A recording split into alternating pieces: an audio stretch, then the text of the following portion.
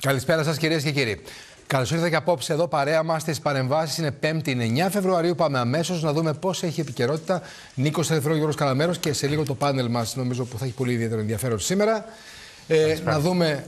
Να ξεκινήσουμε από μια εσωτερική είδηση. Έχετε δει αναλυτικά, νομίζω ότι εκτεταμένα το τι συμβαίνει στην Τουρκία ε. και στη Συρία ε, και στο δελτίο ειδήσεων νωρίτερα. Θα μιλήσουμε κι εμείς.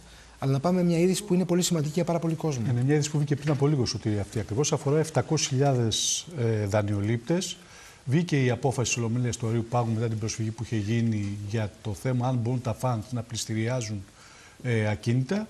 Η απόφαση δυστυχώς μια συντριπτική πλειοψηφία, 59-6, ψήφισε ο Άριος Πάγος ότι μπορούν να βγαίνουν τα ενυπόθηκα δάνεια στο σφυρί. Ότι μπορεί να είναι διάδικοι τα funds. Τα funds, ακριβώς. Οι εταιρείες που έχουν συστήσει στην Ελλάδα. Οι, οι funds, ναι, που έχουν έδρα στην Ελλάδα. Που έδρα στην Ελλάδα. Οι τράπεζες οι οποίες χρησιμοποιούν ένα νόμο του 2003, αγνώντας τον νόμο του 2015, ο οποίος τους καλούσε να κάνουν πρόταση για αρρύθμιση πριν προχωρήσει ο πληστηριασμό.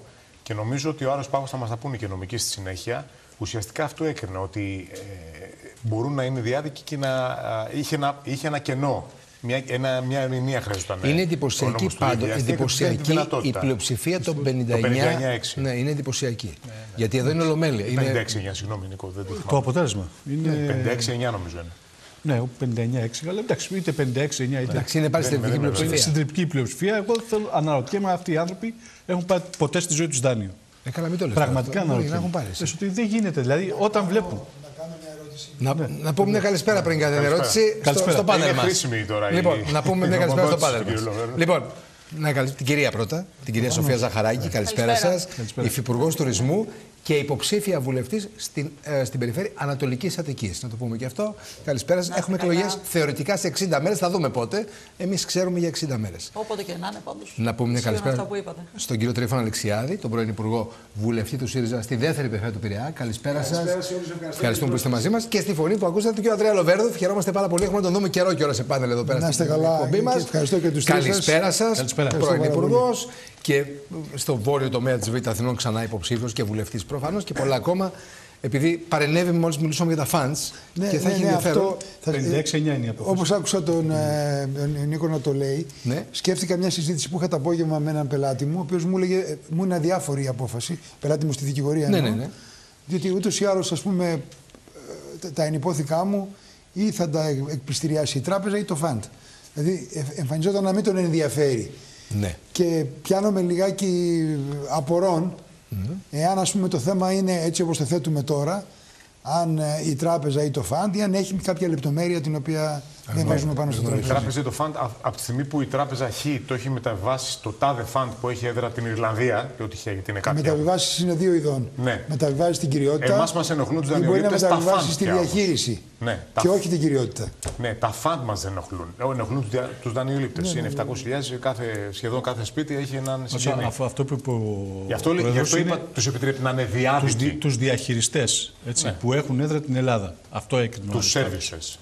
Λοιπόν, που λέμε, ναι, ναι. θα μας δώσετε λίγο χρόνο να δούμε την επικαιρότητα και αμέσως μετά ερχόμαστε αρκετά σύντομο. Και θα ξεκινήσουμε το θέμα αυτό γιατί ενδιαφέρει πάρα πολύ κόσμο, κύριε Αλεξιάδη, κύριε Ζαχαρά, κύριε Λοβέρ. Το, το γνωρίζουμε πάρα πολύ καλά. Το τηλεφωνήμα το αποδεχόμαστε καθημερινά. λοιπόν, για να δούμε. Οι αρχηγοί βρέθηκαν στις Βρυξέλλες. Ναι. Ο καθένας βέβαια με τη δική του ομάδα, με τον κύριο Τσίπρα που ήταν στους Ευρωσοσιαλιστέ και είχε και μια έτσι. Είναι σε δύο ομάδες ο κύριος Τσίπρας. Ναι. ναι. Εκεί στο ένα μετέχει στους παρατηρητές, στο άλλο μετέχει ως κανονικό μέλο. Είχε, και... ε, είχε μια Μίλησε για την διπλή κρίση, ενεργειακή ακρίβειας ε, και κλιματική κρίση. Αλλά νομίζω η φράση που έχει ενδιαφέρον είναι ότι η Ευρωπαϊκή Ένωση δεν μπορεί να μένει άπραγη απέναντι στη, στα συμφέροντα των ΗΠΑ ή να εκφράζει μόνο τα συμφέροντα των ισχυρών μελών της. Προφανώς εννοώντας τη Γερμανία και τη Γαλλία.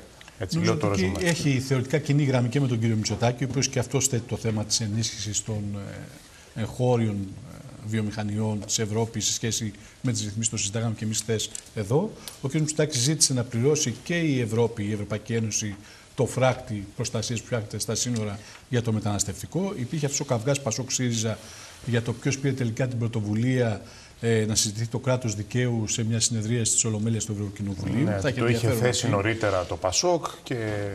Εντάξει, πάντα όταν ε, είναι στους Ευρωπαίους Σοσιαλιστές ο κύριος Τσίπρας υπάρχει μια δυστημία, μην πω αμηχανία στο. Έτσι, υπήρχε σήμερα το νέο σπορ του ΣΥΡΙΖΑ για την οικονομία. Ναι. Ε, συνεχίζεται αυτή η καμπάνια. Συνεχίζεται, έχουμε τη μεταγραφή διαδικτυακή. του κυρίου Καρανικόλα, ε, πρώην αναπληρωτή εκπροσώπου τύπου του Πασόκ στη Νέα Δημοκρατία. Δεν ανακοινώθηκε περιφέρεια είπε ότι πάει στη Νέα Δημοκρατία ως απλό στρατιώτη. Έχουμε το θέμα με τους καλλιτέχνες. Έτσι, για να τον εντριγκάρω λίγο και εκπροσώπου τύπου του κ. Λοβέρδου στις εσωτερικές εκλογές για ανάδειξη αρχηγού στο κοινάλ Πασό. Μετά, μετά, μετά, μετά. Κάνω τίζερ, τηλεοπτικά το περίμενα αυτό, ήμουν σίγουρος. Το θέμα που είχε ανέβει αρκετά με του καλλιτέχνες και κλείνω σε αυτό. Παρατήθηκαν και οι καθηγητές του Κρατικού Θεάτρου Βορείου Ελλάδος. Η κυρία Μενδώνη υπερψήφισαμε μια διάταξη που εξαιρεί τους καλλιτέχνες, αλλά φαίνεται ότι αυτή η υπόθεση έχει αρκετή συνέχεια. Λοιπόν, έχουμε ένα πολύ ενδιαφέρον πάνελ σήμερα. Νομίζω ότι μπορούμε να ξεκινήσουμε και ας ξεκινήσουμε κυρία Ζαχαράκη, με το κομμάτι αυτό που, στο οποίο παρανέβηκε ο Λοβέρδος για να, για, να κάνει, για να πει αυτά τα οποία είπε. Θα πει και περισσότερα, φαντάζομαι, στη συνέχεια. Ναι. Είναι ένα ζήτημα πολύ σοβαρό αυτό. Εμείς κάθε μέρα δεχόμαστε τηλεφωνήματα από κόσμο, στο κομμάτι της εκπομπής τελευταίο, που πληρώνει δάνεια, που αποπληρώνει δάνεια και που τα δάνειά τους με την αύξηση των επιτοκίων έχουν πάει από τα, ξέρω, από τα 500 στα 650, στα 700.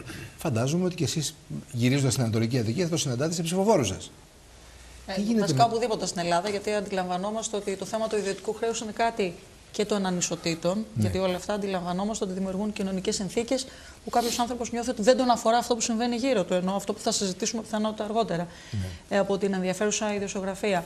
Αλλά ας δούμε λίγο το που βρισκόμασταν και το πού μπορούμε να πάμε πάντα έτσι ρεαλιστικά και με πραγματισμό. Είναι γεγονός ότι τα τελευταία χρόνια και δει με την οικονομική κρίση και ζήσαν οι γενιές μας πολλαπλές οικονομικές κρίσεις, υπήρξε μια συσσόρευση τόσο ή άλλως ιδιωτικού χρέους. Και η αλήθεια είναι ότι και όλα τα μέτρα τα οποία λήφθησαν τα τελευταία χρόνια και οι εξοδικαστικοί μηχανισμοί είδαμε ότι δεν λειτουργήσαν δεν λειτουργήσαν τουλάχιστον στο ιδανικό επίπεδο. Και όσο πιο πολύ δεν αυξάνει η πίτα της ανάπτυξης για να μπορεί να αυξάνει και το διαθέσιμο εισόδημα πάρα πολύ, δυστυχώς φτάνουν στο σημείο να έχουν μια δυναμία στο να αντιμετωπίσουν τα, τα χρέη τους και δει κάτι το οποίο αγγίζει τους άλλους και το σπίτι τους. Την ουσία, αν θέλετε, και μιας προσπάθειας πολυετού μπορεί να έχει μια οικογένεια. Τι έκανε λοιπόν η κυβέρνηση, παραλαμβάνοντας ένα τεράστιο όγκο ιδιωτικού χρέους. Υπολογίζεται ότι ήταν πάνω από 107 δισεκατομμύρια το 2019. Όλο αυτό το τεράστιο, ούτως ή άλλως, είπαμε, τον όγκο του ιδιωτικού χρέους. Το πρόγραμμα Ηρακλής. Το πρόγραμμα Ηρακλής, το οποίο προφανώς μετακίνησε το ζήτημα των κόκκινων δανείων από τις τράπεζες, εξηγιαίνοντα ούτως ή άλλως το χαρτοφυλάκιό τους, δίνοντας όμως και κάποιες ανάσες για να μπορέσουν μετά στο κομμάτι της δανειοδότησης να ε, εξυπηρετήσουν και οι ιδιώτες αλλά και οι επιχειρήσεις. Σε δύσκολο συγκείμενο βέβαια, γιατί αμέσως μετά προκλήθηκε η πανδημία. Μετά με το νέο πλαίσιο αφαιρεγκαιότητας και μέσα το πιο σημαντικό εργαλείο που είναι ο νέος εξοδικαστικός μηχανισμός, βλέπουμε ότι υπάρχει μια επιτάχυνση. Μια επιτάχυνση των διαδικασιών, οι οποίες είναι απτές. Σκεφτείτε δηλαδή, είχα μπροστά τα στοιχεία λίγο πριν γιατί τα μελετούσα, ότι το Σεπτέμβριο του 2022 είχαν περίπου ε, διευθετηθεί μέσω του εξοδικαστικού μηχανισμού 480, είχαν ρυθμιστεί για να είμαι ακριβής, 480 εκατομμύρια ε, έτσι, χρέη. Και αυτή τη στιγμή έχουμε ξεπεράσει τις 3.332 αιτήσεις και ένα ποσό το οποίο ξεπερνά το 1 δισεκατομμύριο και μπορούμε στο επόμενο χρονικό διάστημα με την απαραίτητη επίσπευση, την οποία ο Χρήστος Ταϊκούρας το έχει επισημάνει πάρα πολλές φορές, ναι. αλλά και τις σημαντικές αλλαγές που θα γίνουν στον εξοδικαστικό, με τη διεύρυνση της περιμέτρου, με την αποποινικοποίηση της αποπληρωμής που ξέρατε ότι υπήρχε μέχρι τώρα και σημαντικές αλλαγές, όχι σημειακές ουσιαστικές, να βοηθήσουμε περισσότερο Συγγνώμη. κόσμο από τη δύσκολη τόσο άλλη στιγμή. 3.500 περίπου. Εδώ μιλάμε για αριθμό 700.000 ανθρώπων οι οποίοι βρίσκονται σε αυτή την κατάσταση. Άρα το 3.500 δεν είναι πολύ μικρό νούμερο στον θα, ωκεανό των 700.000. Κανείς δεν θα εξοραίσει μια κατάσταση ούτω ή άλλως στο κομμάτι των ναι. δανειοληπτών. Εδώ μιλάμε για το τέλος της διαδρομής που καταλαβαίνουμε ότι είναι και η πιο δύσκολη στιγμή όταν κάποιος χρειάζεται να απευθυνθεί στον εξοδικαστικό μηχανισμό. Είναι όμως μια πραγματικότητα την οποία προσπαθούμε να βελτιώσουμε και την βελτιώνουμε όπως βλέπετε μήνα με το μήνα περισσότερο. Στόχο τον οποίο έχει θέσει το Υπουργείο Οικονομικών σε συνεννόηση με τις τράπεζες, αλλά ουσιαστικά κρατώντας και λογοδοτώ, αν θέλετε και αυτοί που πρέπει να λογοδοτήσουν ως προς την άμεση επιτάχυνση στη ρύθμιση των οφειλών, είναι πραγματικά το να μπορέσουμε ιδανικά να φτάσουμε και στα 2 δισεκατομμύρια το αμέσως προσοχέ διάστημα. Αλλά μην ξεχνάμε ότι ήδη υπάρχουν προποθέσει που μπορεί να βοηθήσουν το δανειολήπτη, ο οποίος έχει την πρώτη κατοικία, με κάλυψη δόσεων από το κράτος και με μια προστασία η οποία είναι απαραίτητη, αυτονόητη και εύλογη, ειδικά Μάλιστα. για τις ευάλωτες οικογένειες. Λοιπόν, Συγγνώμη κυρία Ζαχαράκη, ένα σχόλιο όμως δεν άκουσα ή δεν το κατάλαβα εγώ ναι. για την απόφαση του Αριού Πάγου. Αυτό πρέπει να το μελετήσω. Δεν είναι κάτι καταλαβαίνω. Θα ήταν εντελώς εκ μέρους μου ούτως ή άλλως ναι. ανεύθυνο για ένα πράγμα το οποίο δεν ξέρω και στη λεπτομέρεια και δεν έχω το σκεπτικό, το γεγονός ότι επιτρέπει στους σερβισε να προχωρούν σε πληστηριασμούς, δεν σας προκαλεί να κάνετε ένα πολιτικό σχόλιο; να, να, την να σχολιάσω κάτι του, αργίου, του Αρίου Πάγου; Γιατί όχι. Δεν κατάλαβα. Μα πρέπει να δω πραγματικά το περιεχόμενο. Είναι κάτι το οποίο προφανώς δημιουργεί αυτή τη στιγμή και προκαλεί ανησυχία. Ε, κάτι το οποίο εκατοντάδες χιλιάδες ανθρώπους το παρακολουθούν και προβληματίζονται. Δεν είναι κάτι το οποίο εύκολα μπορούμε με, αν θέλετε, με πρωτεχνήματα να σχολιάζουμε. Θέλω πραγματικά να δω την ουσία αυτού. Μισό λεπτό. Να πάμε στον κύριο. Ακριβώς τι λέει η απόφαση, η περίληψη απόφασης Γρήγορα. του ναι, ναι, πολύ γρήγορο. Οι διαχειριστές των φαντ που εδρεύουν στην Ελλάδα μπορούν να ενεργούν δικαστικές πράξεις, να προβαίνουν σε πληστηριασμούς με δική τους επωνυμία και όχι ω προεξούσει στο φαντ. Αυτό λέει. Λοιπόν, εγώ τώρα για θα σας ρωτήσω. Αυτό προφανώς 56 δικαστές σε αυτό το επίπεδο κάπου βασίστηκαν για να βγάλουν αυτή την απόφαση. Θέλω να σας ρωτήσω λοιπόν το σχόλιο που θέλετε να κάνετε και εσείς προφανώς για την απόφαση αυτή, αλλά και πώς μπορείτε να την ξεπεράσετε την απόφαση αυτή αν αύριο, για παράδειγμα, είστε εσείς κυβέρνηση. Αφήνω στην άκρη το νομικό τμήμα, το νομικό κομμάτι της συζήτησης, γιατί δεν ε, μπορούμε αυτή τη στιγμή να, να μπούμε στην, σε λεπτομέρειες και στην ουσία. Παίρνουμε το πολιτικό ε, τμήμα της υπόθεσης και με δεδομένα τα όσα διαβάσαμε κι εμείς σε πάρα πολλά sites. Ναι. Ε, Ανταποκρίσει συναδέλφων κλπ. Ναι. Αυτό είναι το δεδομένο αυτή τη στιγμή. Λοιπόν, επειδή αυτές τις μέρες συζητήσαμε πολύ το, με το καλό ή με το άγριο, θα επανέλθουμε λοιπόν. Με το άγριο, άγριο. Με το άγριο πάνε να πάρουν τα σπίτια του κόσμου. Mm. Αυτή είναι η κατάσταση. Πώ του προστατεύσατε, Υπήρχε... κύριε Αλεξιάδη, όταν ήσασταν κυβέρνηση, για πείτε μας. Εγώ λέω ότι η κουβέντα σήμερα την κάνουμε χωρίς να διακόπτουμε ένα στον ναι, άλλον. Ναι, ναι, ξέρετε ότι δεν είναι. Ναι, ναι, ναι. Θα σας απαντήσουμε αμέσω και γι' αυτό. Ε, με το άγριο πάνε να πάρουν τα σπίτια του κόσμου. Δυστυχώς δεν ακούστηκε ο ΣΥΡΙΖΑ όταν προσπαθούσε με διατάξεις από τον Ιούλιο 19 μέχρι τώρα να προστατευτεί η πρώτη κατοικία, διότι εμείς δεν ενδιαφερόμαστε γενικά και αόριστα για τους στρατηγικούς αγωπληρωτές ή τους παταξίδες. Ενδιαφερόμαστε πρώτα απ' όλα για την πρώτη κατοικία και για αυτούς που έχουν αντικειμενική αδυναμία να πληρώσουν το, το δάνειά τους. Δυστυχώς λοιπόν έχουμε αυτή την εξέλιξη Κατά τη γνώμη μου, εάν ισχύει αυτά τα οποία γράφονται, αυτή η δικαστική απόφαση είναι σε πλήρη δυσαρμονία με τις ανάγκες της κοινωνίας και τα προβλήματα των πολιτών. Κρίνονται και οι δικαστικές αποφάσεις, σεβαστές, αλλά κρίνονται οι δικαστικές αποφάσεις. Τίποτα δεν είναι στο απειρόβλητο. Και αυτό που πρέπει να γίνει αυτή τη στιγμή είναι να υπάρξει το κοινωνικό και πολιτικό μέτωπο για να προστατεύσουμε την πρώτη κατοικία. Εκεί λοιπόν θα κρυθεί ο καθένας. Τώρα, θα το κάνετε στο αυτό, αυτό, αυτό ρωτάω. Ναι, μπράβο, στο ερώτημα λοιπόν. Στο ερώτημα, ναι, ναι. στο τι μπορεί να γίνει. Τι μπορεί να γίνει ναι. Στο τι μπορεί να γίνει, υπάρχουν και τα νομοθετικά εργαλεία. Ωραία. Πρέπει να εξαντληθούν σε επίπεδο Βουλής. Υπάρχουν και τα νομοθετικά εργαλεία. Μάλιστα. Αλλά υπάρχει πρώτα απ' όλα η ανάγκη άμεσα να προστατευτεί η πρώτη κατοικία. Η πρώτη κατοικία είχε τελειώσει η προστασία της 31 Δεκάτου 14. Έχω τα πρακτικά της Βουλής για να μην χάσουμε χρόνο στην αμφισβήτησή της στο αν είχε γίνει έτσι ή όχι. Επί ΣΥΡΙΖΑ δεν έγινε ούτε ένας πληστηριασμός πρώτης κατοικίας. Το προστατεύσαμε. Σε ό,τι αφορά το τι θα γίνει από εδώ και πέρα, ελπίζω η κυβέρνηση να μην επιτρέψει αυτή την εξέλιξη. Λοιπόν, πάμε και στον κύριο Λοβέρδο. Ναι, να ακούσουμε και το πολιτικό και το νομικό μαζί. Για να είμαστε δικοί, εγώ θέλω να, θα, θα μείνω περισσότερο στο, στο δικηγορικό Εντάξει. και λιγότερο στο πολιτικό. Εσείς ξέρετε που θα μείνω. Αλλά θέλω να πω και στους δύο συναδέλφους μου που προηγήθηκαν. Πρώτα στην κυρία Υφυπουργό, την κυρία Ζαχαράκη, ότι η καθημερινή στα πρωτοσέλιδά της κάνει καταγραφή του πόσο πίσω είναι ο εξοδικαστικός. Όχι εγώ. Γι' αυτό είπα ότι δεν κατάσταση. Αφήστε με να μιλήσω. Αφήστε με να μιλήσω. Η καθημερινή στα πρωτοσέλιδά της λέει ότι πόσο πενιχρά είναι τα αποτελέσματα του εξοδικαστικού και αυτό οφείλεται να το έχετε υπόψη σας. Και για αυτή τη στιγμή, γιατί στην προεκλογική περίοδο θα απασχολήσει, αλλά και για μετά τις εκλογές, ανεξαρτήτως που θα είναι το κόμμα σας, ότι κάτι πρέπει να γίνει. Ο εξοδικαστικός δεν περπατάει. Παρουσιάσατε αριθμούς μεγεθυντικού από το Σεπτέμβριο μέχρι σήμερα. Δεν λέτε ψέματα σε αυτό. Αλλά το συνολικό πρόβλημα παραμένει κατ' ουσίαν άλυτο. Ο κύριος Ξενάκης, όταν σας έκανε μια αντίστοιξη του αριθμού που δώσατε με τις εκκρεμείς υποθέσεις, αντιλαμβάνεστε ότι είναι πολύ μικρός ο αριθμός που δώσατε εσείς. Στον κύριο Αλεξιάδη θέλω να πω ότι επί των ημερών της κυβέρνησης του ΣΥΡΙΖΑ θυμάμαι τον κύριο Λαφαζάνη και την κυρία Κωνσταντοπούλου να κάνουν αγώνα κατά των πληστηριασμών. Τώρα, αν εσείς λέτε ότι δεν έγινε κανένας, εγώ δεν θέλω να σας αμφισβητώ, αλλά στη μνήμη μου έχω ζωντανό τον κύριο Λαφαζάνη, τον κύριο Στρατούλη, ε, παλιούς σας συντρόφους και την κυρία Κωνσταντοπούλου, πρώην πρόεδρο της Βουλής, να μάχονται για αυτό το οποίο εσείς λέτε ότι δεν γινόταν. Τώρα, πάμε στο σήμερα. Τι γίνεται; Είχαμε μια ναι. απόφαση του Αριού Πάγου. Η απόφαση αυτή του Αριού Πάγου έχει τεράστια πλειοψηφία. Τεράστια πλειοψηφία. 56-9 είπε ο κύριος Ελφερόγλου. Ναι, 56-9. Ναι, είναι πολύ μεγάλος όρο. Πάμε τώρα όμως να δούμε την ουσία. στην, ουσία, στην νομική ουσία της υπόθεσης, ας πούμε, έχω χειριστεί πάρα πολλές τέτοιες υποθέσεις ως δικηγόρος. Ξέρω, αγαπητοί φίλοι, ότι υπάρχουν αρπακτικά στο χώρο των φαντς, αλλά ξέρω ότι δεν είναι και όλα τα φαντς αρπακτικά. Υπάρχουν φαντς που είμαι στα όρια να προβώ σε δημόσια καταγγελία. Απλά και μόνο δεν θέλω να υπησέρχεται η, η δικηγορική μου ιδιότητα στην πολιτική μου ιδιότητα. Αλλά υπάρχουν φαντς τα οποία η πολιτεία πρέπει να τα δει. Είναι τελείως αρπακτικά και δεν έχουν όχι καμία ευαισθησία, είναι τελείως έξω από τη λογική της αγοράς.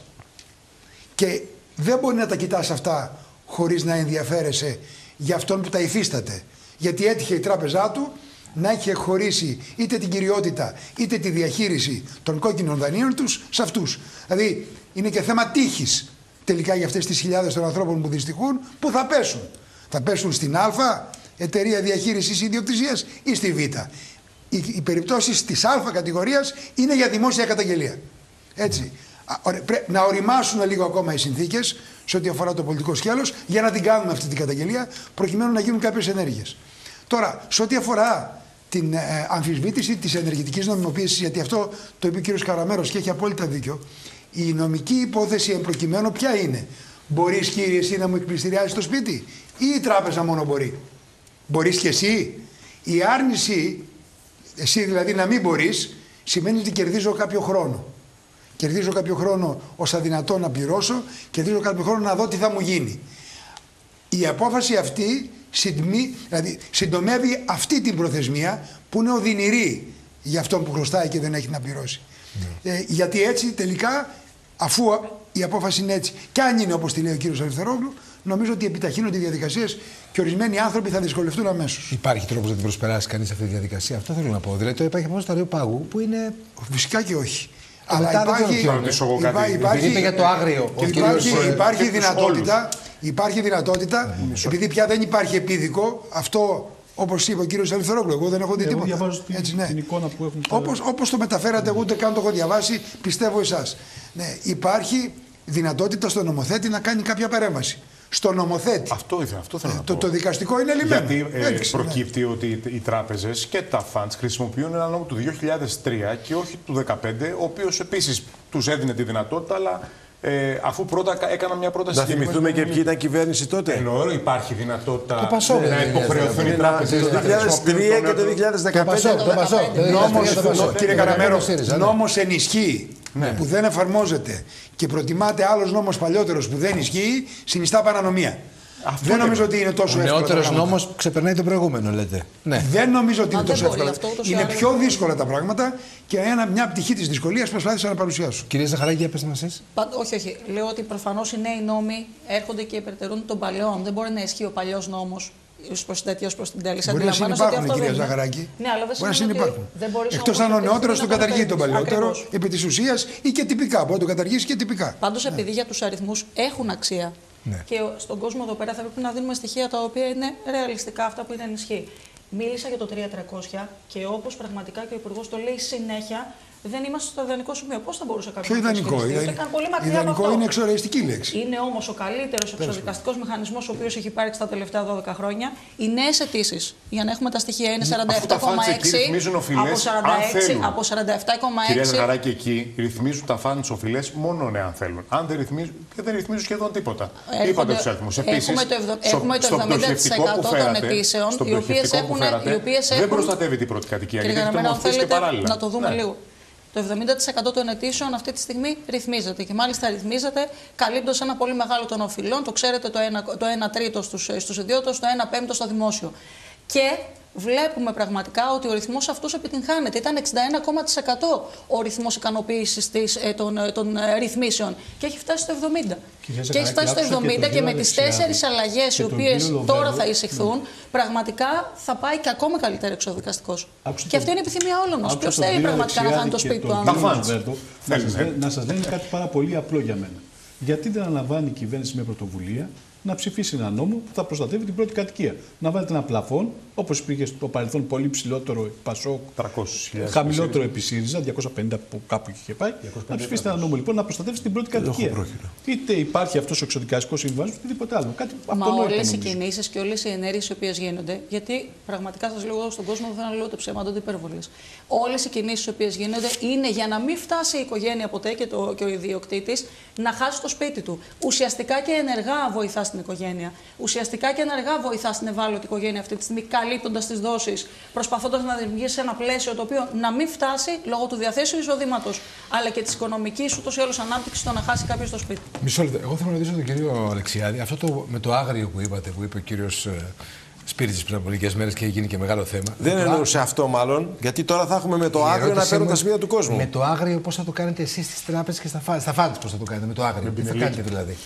ναι. Κοιτάξτε, σίγουρα. Τι όχι, με το άγριο, σίγουρα ναι. όχι με αυτές τις. Ε, να μην πω άλλη λέξη, να το πω πιο ευγενικά, με τις διάφορες πληροφορίες ότι έγινε συνάντηση του Υπουργού με τις τράπεζες και τα φαντς και ακουστήκαν γαλλικά και διάφορα άλλα και φοβηθήκαν οι τράπεζες. Ναι, ναι, ναι. ναι. Δεν, όχι με αυτόν τον τρόπο. Ναι. Αυτό που μπορεί να γίνει γιατί παίζουμε, ναι. παίζουμε με την αγωνία του κόσμου. Ε, βέβαια, Εγώ είχα περίπτωση στη Νίκαια πολίτη που έχανε το σπίτι του Ναι. και όταν του είπα ότι νομικά πρέπει να γίνουν 1, 2, 3, 4, μου λέει δεν έχω ούτε 100 ευρώ να πάω σε δικηγόρο. Ναι. Μιλάμε για τόσο τραγικές καταστάσεις. Εδώ λοιπόν πρέπει να υπάρχει μια νομοθετική ρύθμιση με εισοδηματικά και περιουσιακά κριτήρια, αν βγαίνει τους πάντες, όπου να επιτρέπει την προστασία της πρώτης κατοικίας. Γιατί εγώ θα το θέσω διαφορετικά. Δηλαδή, στον συνταξιούχο που παίρνει 600 ευρώ ή 700 ευρώ σύνταξη και έχει ένα δάνειο, τι θα κάνουμε, θα στείλουμε την αστυνομία και τους κλητήρες να τον πετάξουν στον δρόμο, να είναι άστεγος; Πώς θα το αντιμετωπίσουν αυτό το πρόβλημα; Εδώ λοιπόν χρειάζεται μια ρύθμιση, χρειάζονται κοινωνικές πολιτικές και πρέπει να έρθει αυτή η ρύθμιση. Προστασία της πρώτη Κύριε κατοικίας. Υπουργέ και κυρία Ζαχαράκη νωρίτερα δεν τις απαντήσατε παρόλο που είχατε θα τις απαντήσετε. Γιατί εσείς όταν ψηφίσατε αυτό το νόμο και φέρατε τα φαντ και πήραν τα στεγαστικά δάνεια του κόσμου, δεν βάλετε μία δικλίδα ασφαλείας να μην μπορούν να πηγαίνουν να εκπληστηριάζουν τα σπίτια των ανθρώπων; Διότι εμείς είχαμε να αντιμετωπίσουμε τότε το χρέος, τη χρεοκοπία της χώρας και τα μνημόνια που κληρονομήσαμε από άλλες πολιτικές δυνάμεις. Παρ' όλα αυτά, επειδή υπάρχει το θέμα της σύγκρισης του τι κάναμε εμείς και το τι έκανε η Νέα Δημοκρατία, εμείς παραλάβαμε τη μη προστασία της πρώτης κατοικίας, είχε λήξει 31 Δεκάτου 14, Καταφέραμε στην περίοδο όμω να μην γίνει ούτε μία πληστηριασμό πρώτης κατοικίας. αυτό υπάρχουν στοιχεία Κύριε που Λοβέρδο, έχει αν δώσει- υπάρχει οποιοδήποτε, Ο- ο είτε κ. εσείς είτε Λαφαζάνης κάποιος τα έχει άλλο. δώσει. Ο κ. Λαφαζάνης, να σου πω εγώ 10 περιπτώσεις. Τον έχω καλέσει έχει πολλές δώσει. φορές δημόσια και όποιον άλλον να βγει και να πει. Μα τις έχω πει πολλές φορές στην στην τάδε εκπομπή. διεύθυνση έγινε προστασία, ε, πληστηριασμό πρώτης Υπάρχουν κατοικίας. και, συγγνώμη, Τα ε, λέει. Και να τελειώσω τη δεν φράση. υπάρχουν και ιδιωτικά Όχι, τέτοια όχι. Η διαφορές. διεύθυνση Δεν δεν ήταν έχει πει. ιδιωτικά. Να βγει και να πει, Τώρα, να εντάξει. βγει και να πει ονοματεπώνυμο πολίτη δια- διεύθυνση. Τέλος πάντων, εντάξει. Και ένα Να μην- τελευταίο. να μην- Εμείς στην κυβερνητική μας περίοδο καταφέραμε να μην βγει πρώτη κατοικία και καταφέραμε να διευρύνουμε την προστασία πρώτης κατοικίας και σε αυτούς που είχαν πάρει επιχειρηματικά δάνεια και είχαν βάλει ενέχειρο την πρώτη κατοικία τους. Κύριε- Κύριε κύριε Ξενάκη, Κιάδη, Ναι. Να απαντήσουμε Δεν τα παραδείγματα κάναμε που- όλα τέλεια. μισό, Σίγουρα μισό, κάναμε κύριε και Κιάδη, λάθη θα παραλήψεις. Αλλά Αν κάναμε ήρθαμε για πολλά. να κάνουμε ένα πληστηριασμό καλοσύνης, Ναι. ο νόμος Κατσέλη είναι νόμος Πασόκ. Αλήθεια. είναι. Το έχετε ξεχάσει. Δεν το έχουμε ξεχάσει. Το Ναι, νόμος Κατσέλη και το δηλαδή λέμε ο εμείς. καθένας τώρα λέει εδώ πέρα ότι θέλει πόσο καλός είναι. Νόμο Κατσέλη το ο λέμε. νόμος Κατσέλη έγινε όταν ήταν το πρώτο μνημόνιο. Το 2010. Τι Το ποσοστό πρώτο απόρριψης μνημόνιο. των- του νόμου Το Κατσέλη πρώτο υπάρχει, κύριε μνημόνιο Λοβέρδο; που Τι σημαίνει ποσοστό απόρριψης στις πιο υπάρχει; σκληρές εποχές. Στις πιο σκληρές εποχές. Με την Τρόικα στην πιο σκληρή της φάση. Όχι στην πιο ήπια και τελευταία Τότε της που έπαιρνε φάση. ο κύριος Πάτης τα Άρα, δάνεια. άρα, άρα, εγώ όμως δεν ήρθα εδώ γι' αυτό. Ναι. Δεν ήρθα για να πω ότι είμαι καλύτερος άνθρωπος από την κυρία Ζαχαράκη και από τον κύριο Γρήγορο. Ε, δεν- Αλεξιάδη. Ήρθα για να πω τι είναι αυτό που μπορεί να γίνει τώρα. και απαντώντας Αυτό στον κύριο ρωτήσαμε Καραμέρο, κιόλας. είπα. Πώς, μπορούμε να, πώς ότι, μπορεί ε, μετά την απόφαση αυτή κιόλας. η απόφαση έχει ευρύτατη πλειοψηφία. Δεν υπάρχει πάνω από τον Άριο Πάγο Αυτό ρωτάω. κάποιο άλλο Άρα- δικαστήριο. άρα- Ο μόνος που μπορεί να παρέμβει είναι ο νομοθέτης. Ναι. Ξέρει τα ωριά του και μπορεί να παρέμβει. Σήμερα έχουμε μια πλειοψηφία της Βουλής, σε αυτήν απευθυνόμαστε. Ναι. Δεν μπορώ να πω κάτι άλλο. Άρα μπορεί να υπάρχει Σε ό,τι νομοθετική αφορά ρύθμιση δε το, που να το θέμα που ξεπερνά. προηγείται, Ναι. τι παθαίνει ο άνθρωπος, είτε είναι αυτός που είπε ο κύριος Αλεξιάδης, γιατί και εγώ έχω τέτοια περίπτωση, είτε είναι κάποιος που είναι σε καλύτερη κατάσταση, πλην όμως όχι σε καλή για να μπορεί να πληρώνει τα δανειά του, τι θα γίνει με εκείνες τις εταιρείες που είναι εταιρείες αρπακτικά. Ε, ελέγχονται. Είπατε ότι είστε ένα ελέγχονται. βήμα πριν πείτε ονόματα. Είναι σημαντικό αυτό που λέτε. Δεν γιατί θέλω να προφανώς, πω. Προφανώς θα υπάρχει, υπάρχουν κάποιες μία, εταιρείες- ναι. υπάρχει μία που είναι, είναι η φωτογραφία του αρπακτικού. Ναι. Ελέγχονται. Από ποιον Και ελέγχονται; έχει και πάρα πολλά Δεν ξέρω. δάνεια. Από, ποιο, από ποιον ελέγχονται; Ναι. Πείτε μου Ε, ε, ε, απευθύνομαι και στην Υφυπουργό. Θα μου πεις δεν είναι της αρμοδιότητάς της και είναι άδικο Εντάξει. να κάνουμε τώρα τέτοια συζήτηση που είναι και ξαφνική. Αλλά ποιος ελέγχει αυτές τις εταιρείες, αν ασκούν καλά την, ε, τα καθήκοντά τους. Ποιος τις ελέγχει; Κανένας δεν τις ελέγχει. Κανένας δεν τις ελέγχει. Δεν υπήρχε πρόβλημα στον νόμο, δυστυχώς. Εγώ αυτό έλεγα. Και επειδή είπε ο κ. Αλεξιάδης για τα παραδείγματα, ο κ. Λαφαζάνη τα έχει δώσει. Επειδή πάντα δεν έχει δώσει κανένα πληστηριασμός στο Ειρηνοδικείο Αθηνών 25 Δεκάτου. Ε, τώρα, τέσσερα τώρα τα θυμάμαστε, κύριε Διαμέρισμα σε 78 τετραγωνικά σε Να... Μοναδική κατοικία. Να κοιτάμε μόνο πίσω. Πληστηριασμός για χρέη σε τράπεζα 18 Δεκάτου 17 ενό σπιτιού 60 τετραγωνικών. Αυτό θυμάμαι να τα λέει. Έγινε πληστηριασμός. Επειδή τα ανέφερε ο άνθρωπος. Άλλο αν. Έγινε, ναι, έγινε. έγινε. Άλλο αν. Τον ηλεκτρονικό ποιος τον έκανε, τον κύριο Άλλο αν αναρτήσουμε αυτό το θέμα. Άλλο αν αναρτήθηκε ένας πληστηριασμός. Και άλλο αν πηγαίνανε στους συμβολιογράφους και γινόταν. Δέρνανε τους συμβολιογράφου. Εγώ θυμάμαι τα καπνογόνα και τα και έγιναν ηλεκτρονικοί. Στο ελληνοδικείο. Και μετά στα συμβολογραφικά γραφεία τα ΜΑΤ. Τα θυμάμαι. Γιατί πηγαίνουν αυτά; Γιατί πηγαίνουν για πλάκα, πηγαίνουν τα μάτια και λεξιάδι. Και κάποιον Απάντηση λοιπόν, ναι. απάντηση για να μην μείνει κάτι να ορείτε ένα συναφάκι. Θυμάμαι να κλαίει τον κύριο Λαφαλσάνη και την κυρία Κωνσταντοπούλου να κλαίνουν έξω από τα συμβολογραφία.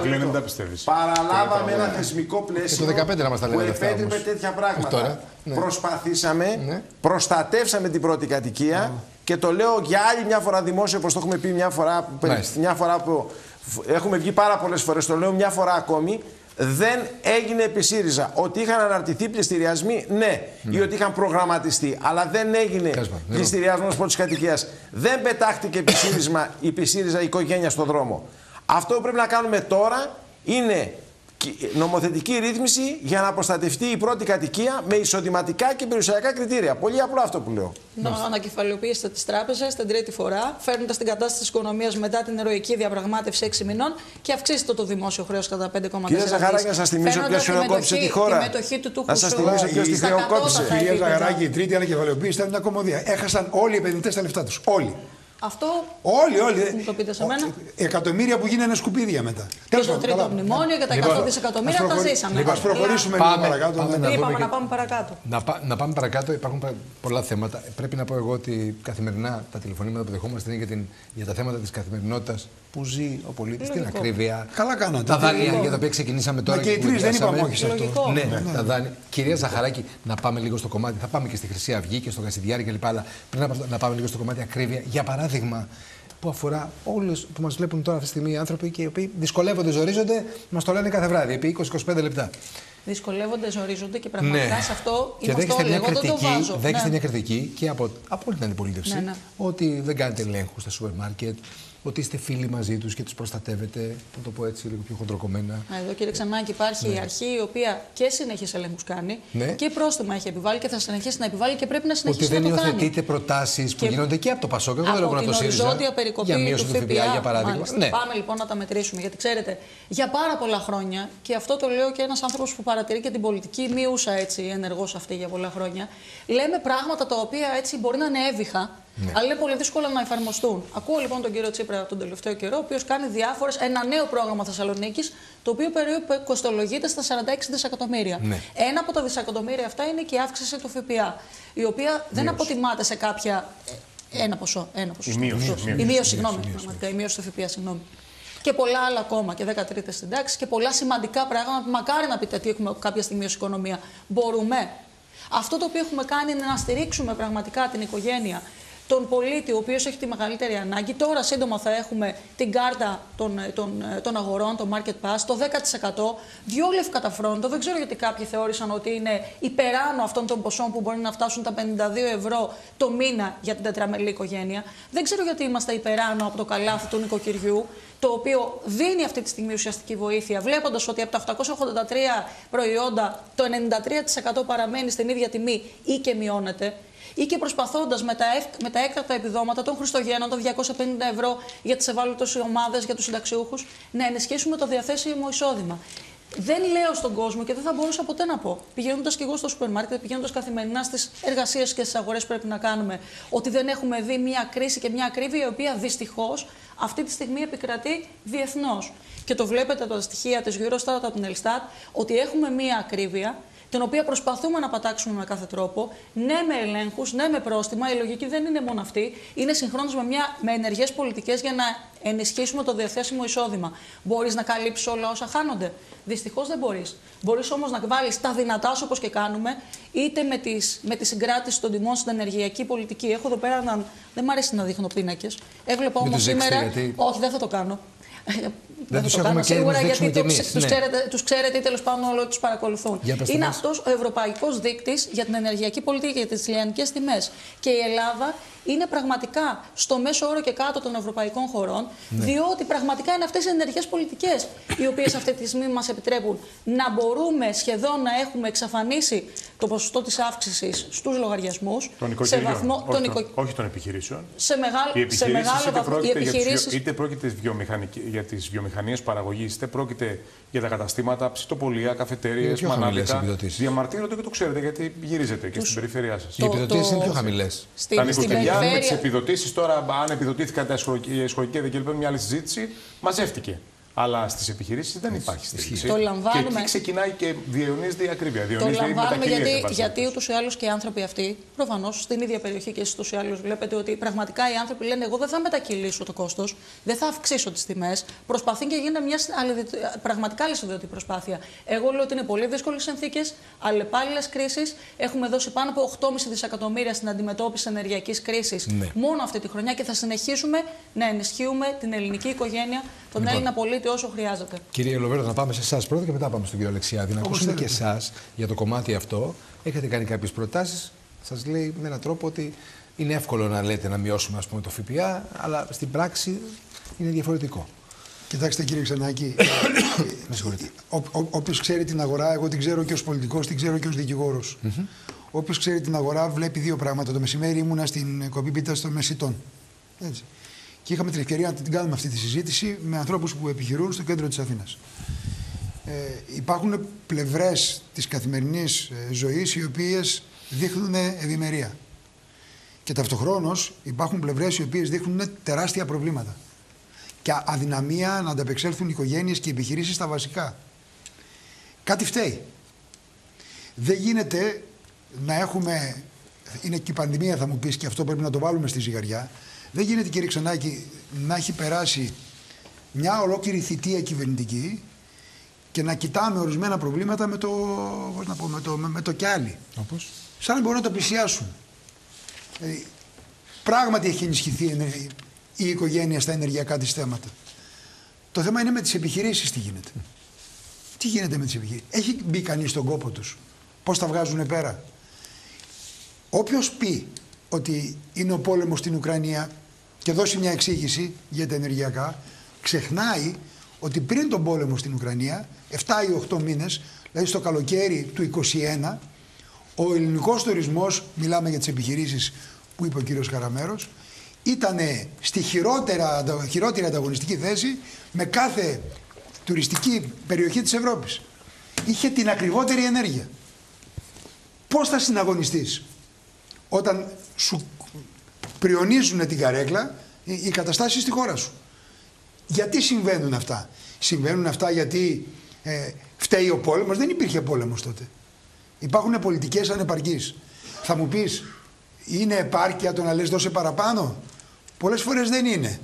Αλλά όταν δεις τι έχει ξοδευτεί αυτό το καιρό, γιατί έχουν ξοδευτεί δισεκατομμύρια και πρέπει και στην προεκλογική περίοδο να δείξουμε το Ταμείο Ανάκαμψης τι έχει γίνει; Το δίνουμε σε επιδόματα; Το πετάμε. Θα τελειώσει αυτό κύριε Ξανάκη. Ναι.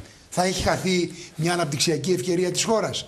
Άρα η προεκλογική περίοδος πρέπει να δείξει ποιες είναι οι κυβερνητικές ευθύνες, ποιες είναι οι ευθύνες που ήταν εξωγενός πόλεμος και τι γίνεται και με το Ταμείο Ανάκαμψης που έχει δεκάδες δισεκατομμύρια που σαν να φαίνεται ότι χάνονται. Τι δεν κάνει τώρα η κυβέρνηση που θα μπορούσε να κάνει άμεσα για να το καταλάβει και ο κόσμος αυτό. Στην προεκλογική περίοδο, ναι. Ε, ε, κύριε, κύριε Ξενάκη, θα πέσουμε σε πλειοδοσία. Ε, τώρα, αυτό να το θεωρείτε δεδομένο.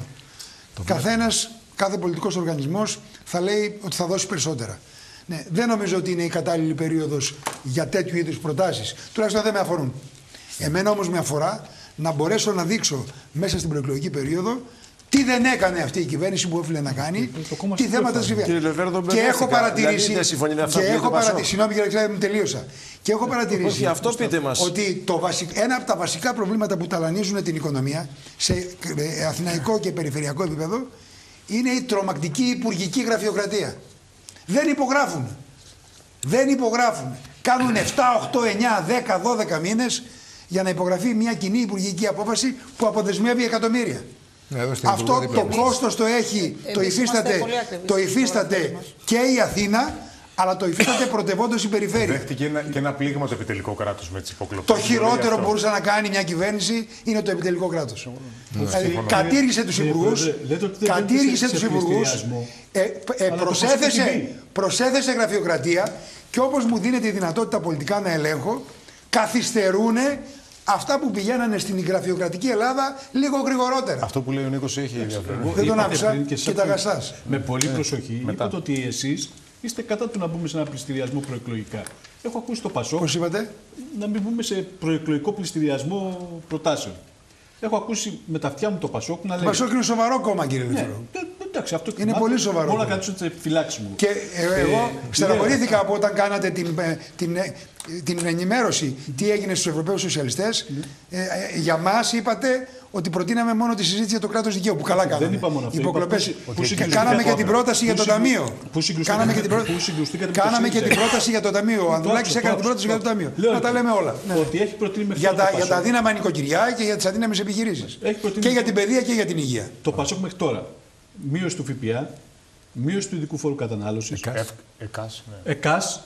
ΕΚΑΣ ναι. Ένα. Κατάργηση του νόμου Κατρούγκα. Πόσο βγήκε διαφορά. Δεν μου κάτι. Δεν μου κάτι. Όχι, λέτε για πληστηριασμό προτάσεων. Στο, στο, στο, νόμο Κατρούγκαλου. Εγώ δεν λέω αν είναι δίκαιο ή Δεν λέγαμε όλοι. Το έχετε κάνει. Για τον νόμο Κατρούγκαλου λέω και, και ξαναλέω. Ο, η, Ελλάδα, η Ελλάδα θα τον πληρώνει χρόνια. Ναι. Και τον ΣΥΡΙΖΑ θα τον στοιχιώνει χρόνια. Ο νόμος Κατρούγκαλου.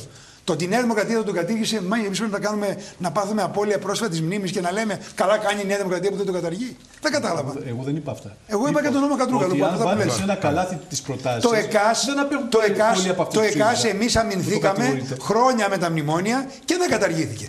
Και το κατήργησε ο ΣΥΡΙΖΑ. Λοιπόν. Επειδή δεν το επαναφέρει η Νέα Δημοκρατία, που είναι το ΕΚΑΣ του Σιμίτη, έτσι. Του Σιμίτη που τον θεωρούσαν όλοι τον ε, πρωθυπουργό, τον σκληρό και του ημίτη το ΕΚΑΣ. Λοιπόν. Επειδή δεν το επαναφέρει η Νέα Δημοκρατία, εμείς να το ξεχάσουμε. Δηλαδή. Λοιπόν, δεν κατάλαβα. Πάντως, συγγνώμη κύριε Λοβέρδο, αυτή είναι πλειοδοσία αυτό. Υπάρχει και ο νόμος Λοβέρδο ασφαλιστικό που Αμέ. προέβλεπε εφαρμογή το 2015. Εάν, εάν, το ΣΥΡΙΖΑ, εάν δεν είχε καταργηθεί, να ρωτήσετε τον κύριο, Στρα... να ρωτήσετε τον κύριο Στρατούλη. Αν δεν είχε καταργηθεί, αυτό που λέει τώρα ο Χατζηδάκης και θα το κάνει τώρα, ότι θα προσαρμοζόμαστε ανάλογα με την πορεία της εξέλιξης και την ανάπτυξη θα ίσχυε από το 2015. Θα μου επιτρέψετε να πω τώρα και θα σταματήσω. Εμένα λέγανε, από άλλους τη βρήκανε. Ότι η ιστορία, ο νόμος Λοβέρδου που ίσχυε και ο οποίος καταργήθηκε μετά τη φοβερή διαπραγμάτευση του 2015, να το πω και αυτό είναι ασφαλιστικό, έβγαλε έξω ο... πάρα πολύ κόσμο και αδείξε πάρα πολύ κόσμο. Τις χείρες. Το πληρώσατε. Τις χείρες. Εγώ έχω και προσωπικό παράδειγμα στην οικογένειά μου. Θέλω να πω. Ναι, αλλά πρέπει να απαντήσουμε κάτι. Να απαντήσετε ο λόγος εσάς. Κύριε Καραμέρο, μια που το είπα, το πω χρόνια.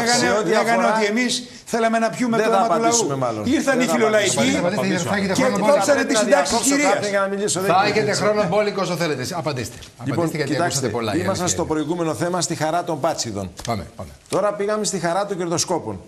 Και στο υπαρκτό ερώτημα, τι θα έκανε η κυβέρνηση ΣΥΡΙΖΑ αν ήταν κυβέρνηση αυτή τη στιγμή; Εμείς λοιπόν έχουμε πει με σαφήνεια. Πρώτα απ' όλα, περισσότερους ελέγχους στην αγορά. Διότι τώρα έχουμε κύμα κερδοσκοπίας, εσχροκέρδειας. Ελέγχους λοιπόν στην αγορά, στον τομέα της ενέργειας, το σούπερ μάρκετ, σε αυτούς τους τομείς που έχουν υπερκέρδη και πρέπει να ελεγχθούν. Όπου η κυβέρνηση αποφεύγει τους ελέγχους. Αυτά που λέει κατά καιρούς ο Υπουργός επί της Αναπτύξεως, που όλα είναι τέλεια και πάει σαν συγγνωμάκι και φωτο... ελέγχους ανακοίνωση στη Βουλή, το είπε κύριε Υπουργέ. Λέει ψέματα. Ε, εγώ έχω ζητήσει αν... κατ' επανάληψη να δημοσιοποιήσουν τα στοιχεία. Και όπως πηγαίνω στο φούρνο της γειτονιάς...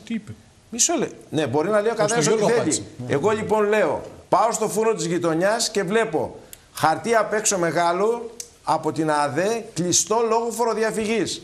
Και δημοσιοποιείται η παράβασή του.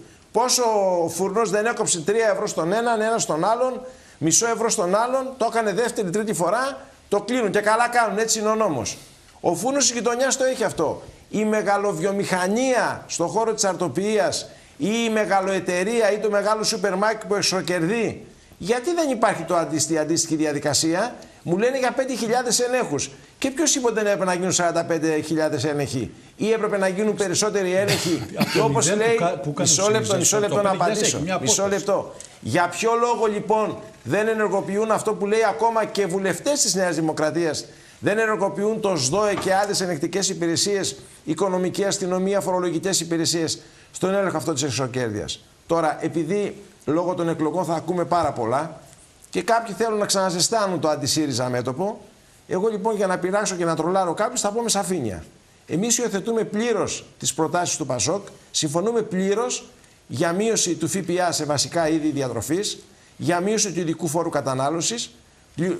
Συμφωνούμε πλήρως με αυτές τις προτάσεις. Μπορεί κάποιοι στο τραπέζι να διαφωνούν, δικαίωμά τους. Αλλά εμείς συμφωνούμε πλήρως με αυτά τα οποία έχει πει το Πασόκ σε αυτό το τομέα. Μισό λεπτό, μισό λεπτό, Σε ό,τι αφορά όμως στο ερώτημα που θα μπει και πού θα βρεθούν αυτά τα χρήματα, έχουμε ήδη απαντήσει. Από τα 4 δις και, δεν είναι μόνο 4 δις, είναι 4,3 δις που είχε υπεραπόδοση στην έμεση φορολογία μέσα στο 2022, μπορούν να χρηματοδοτηθούν τέτοιες μικρές παρεμβάσεις όπως π.χ. μείωση ειδικού φόρου κατανάλωσης, μείωση ΦΠΑ σε βασικά είδη διατροφής. Και σε ό,τι αφορά στο τι μπορεί να γίνει στο επόμενο χρονικό διάστημα, ναι. επειδή μαθαίνουμε για νομοσχέδια που έρχονται και θα ανθίσουν τα λεφτόδετρα και θα βρεθούν ξαφνικά χρήματα, εκεί που έφερε ευνοϊκές φορολογικές διατάξεις για μεγάλες εταιρείες στον τομέα της ενέργειας, μπορεί να φέρει άλλου είδους διατάξεις και να σταματήσει αυτά τα πράγματα. Μια τελευταία κουβέντα, κύριε Ζαχαράκη, γιατί είπατε ε, για το θέμα της κοστολόγησης. Κατά καιρούς το Υπουργείο Οικονομικών βγάζει διάφορα non-paper και λέει όποια κοστολόγηση θέλει. Μπορεί να λέει άλλη φορά λέει 11 δις, 25, 15, 70, ας πει ό,τι θέλει. Τα non-paper είναι καλά. Εγώ έχω ζητήσει μέσα στη Βουλή από τον αρμόδιο Υπουργό και αποφεύγει να το κάνει. Την κοστολόγηση που έκανε το Υπουργείο Οικονομικών και εξέδωσε Κυριακή βράδυ μετά την ομιλία του Τσίπρα στη Βουλή. Και τους έχω πει, για να βγάλει το γραφείο τύπου του Υπουργείου Οικονομικών κάποιο, κάποια ανακοίνωση, ναι. οι υπηρεσίες του Υπουργείου Οικονομικών φέραν κάποια έγγραφα. Δεν μου έχουν φέρει ούτε μια λευκή σελίδα. Κοστολόγηση από το Υπουργείο Οικονομικών δεν έχει γίνει να κάνουν κοστολόγηση και να καθίσουμε. Είναι στον αέρα. Το ποσό που λένε είναι στον αέρα. Το ποσό που λένε είναι στον αέρα.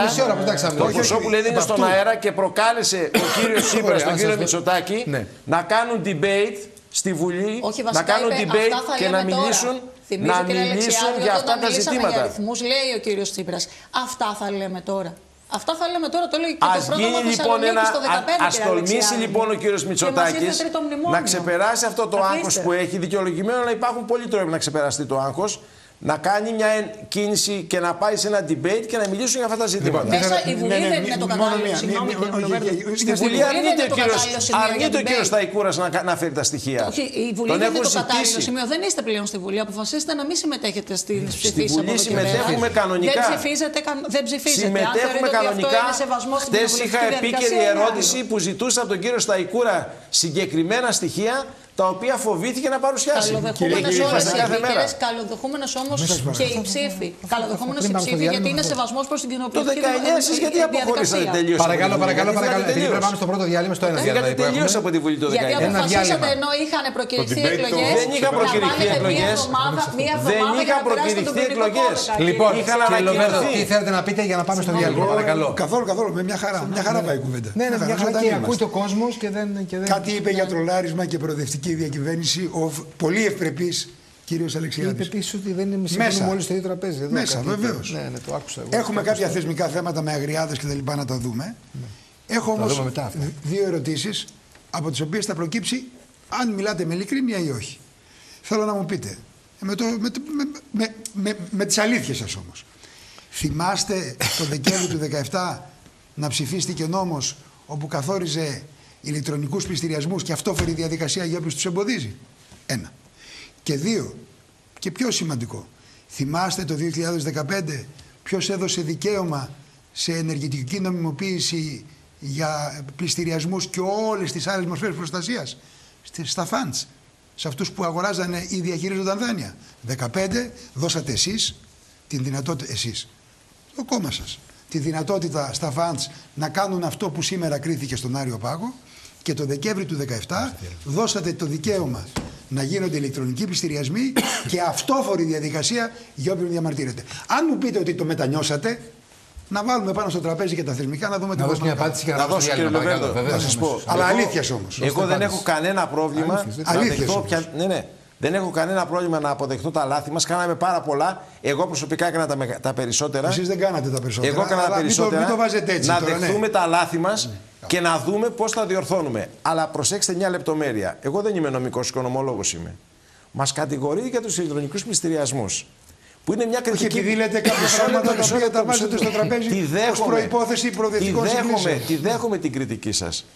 Όταν θα πάμε να συζητήσουμε για το κοινό πρόγραμμα, το ΠΑΣΟΚ θα φέρει πρόγραμμα κατάργησης των ηλεκτρονικών πληστηριασμών. Γιατί πριν λίγους μήνες που ήρθε η κωδικοποίηση του κώδικα έσπραξης δημοσίων εσόδων και προέβλεπε ηλεκτρονικούς πληστηριασμούς, το ΠΑΣΟΚ με τη Νέα Δημοκρατία το ψήφισε.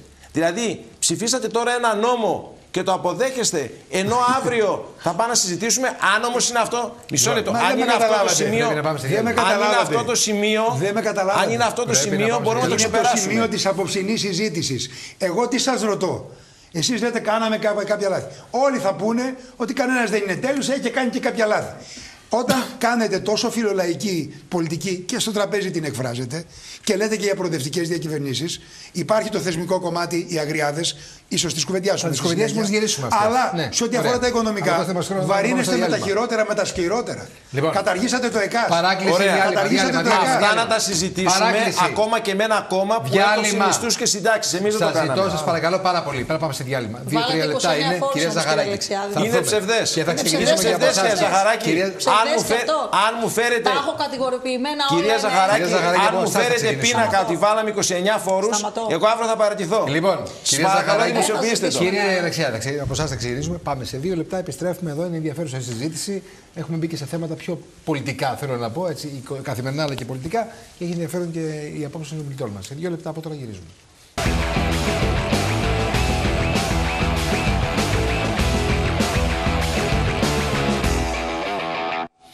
Λοιπόν, επιστρέφουμε εδώ στις παρεμβάσεις και πάμε στην κυρία Ζαχαράκη.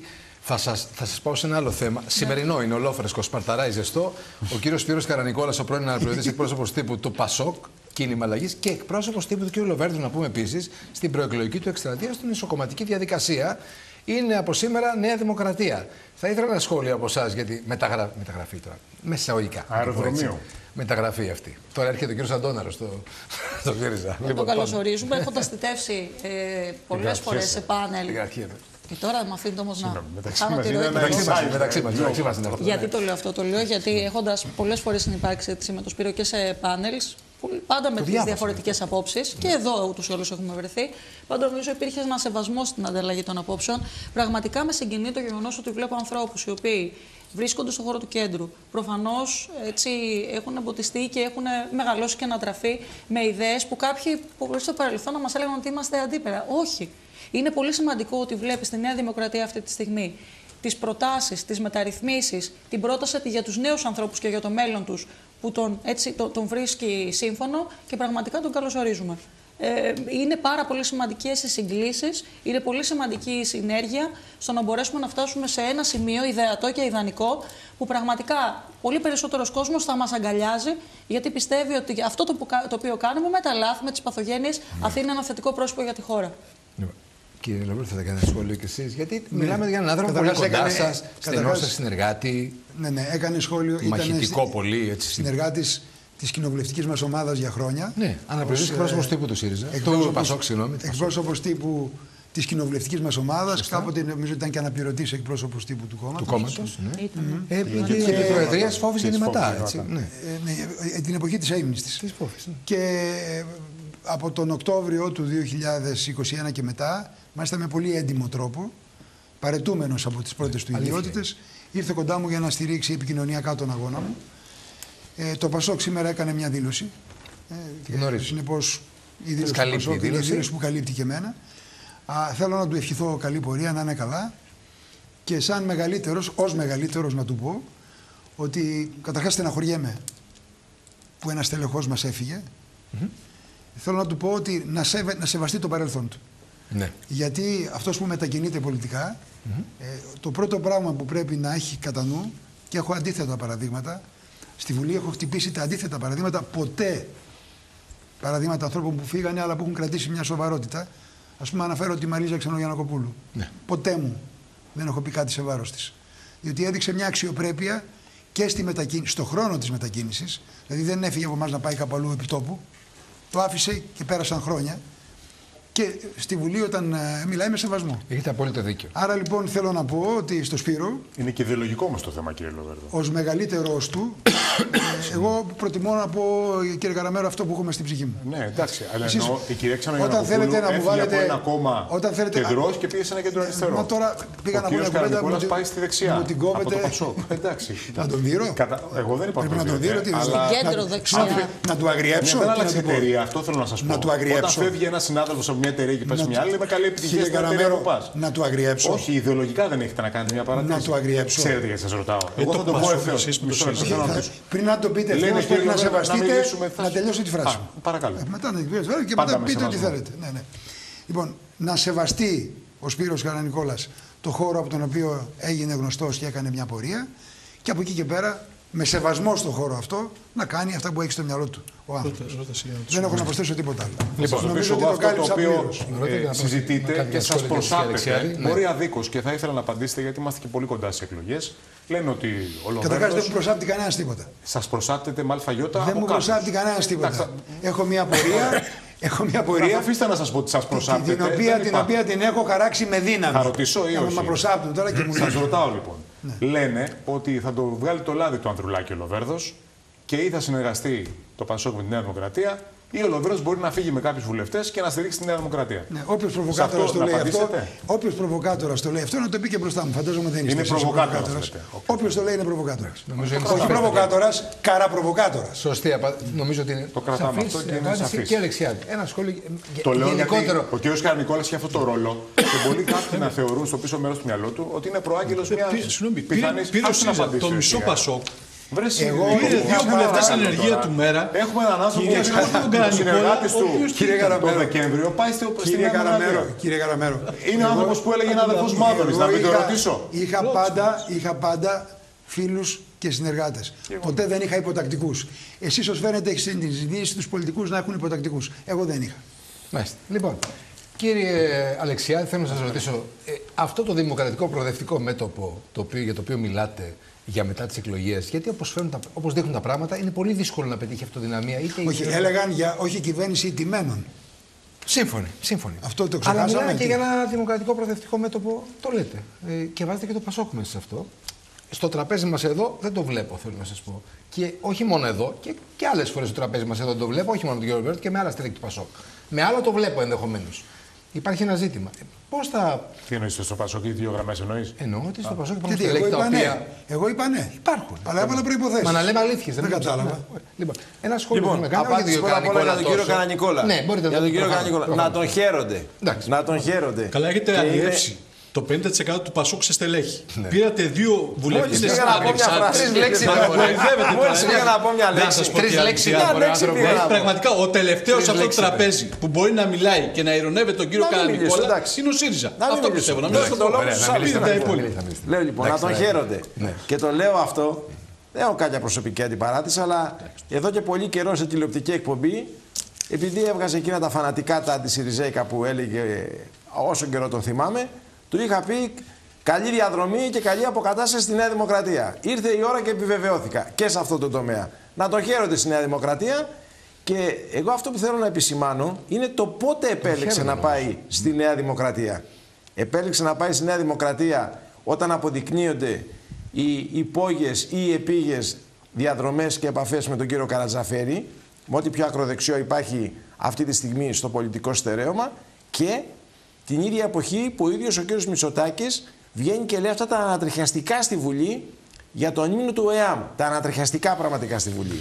Σε ό,τι αφορά τώρα αυτή την προσπάθεια ορισμένων να εμφανίσουν προγραμματικές διαφορές μεταξύ ΣΥΡΙΖΑ και ΠΑΣΟΚ, προγραμματικές διαφορές δεν υπάρχουν. Εγώ καλώ τον κύριο Λοβέρντο ή οποιονδήποτε άλλο, εκτός από αυτά που είπε, να μου πει στο θέμα της υγείας ή της οικονομίας Τρεις διαφορές, διαφο... προγραμματικές διαφορές στην υγεία, τρεις στην οικονομία.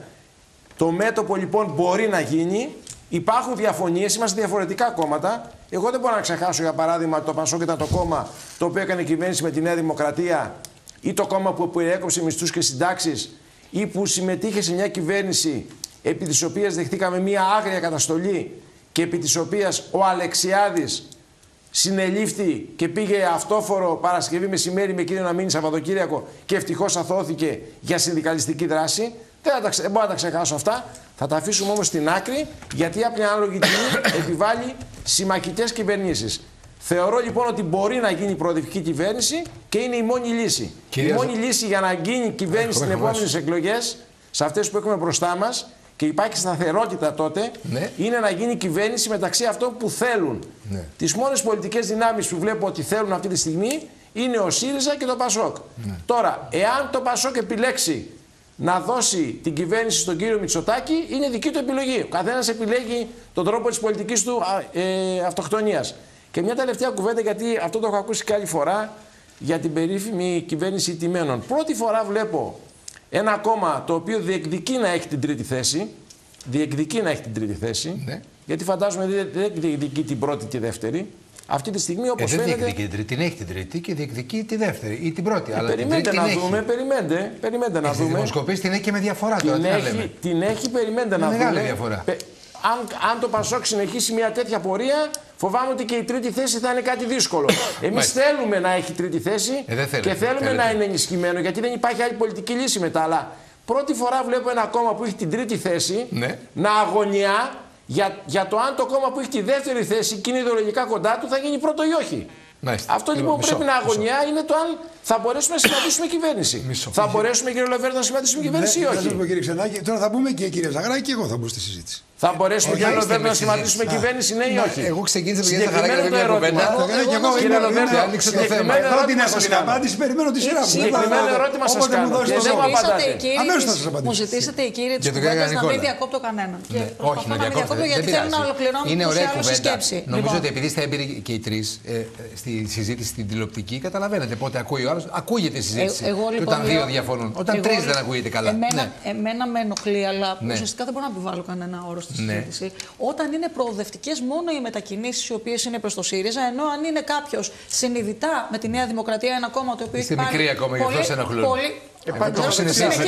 Εγώ το έχω συνηθίσει με πιο μεγάλο Συνεχίζει να με ενοχλούν. Είναι προοδευτικό μόνο όταν έρχεται από το μέρα στο ΣΥΡΙΖΑ οι γυναίκες βουλευτές που άρχισαν με δύο έως τώρα. Είναι προοδευτικό όλα τα άλλα. Στη Νέα Δημοκρατία όμως είναι ευκαιριακού ή έχει έννοια συμφέροντος. Να κάνετε ένα σχόλιο για τον κύριο Κανικό.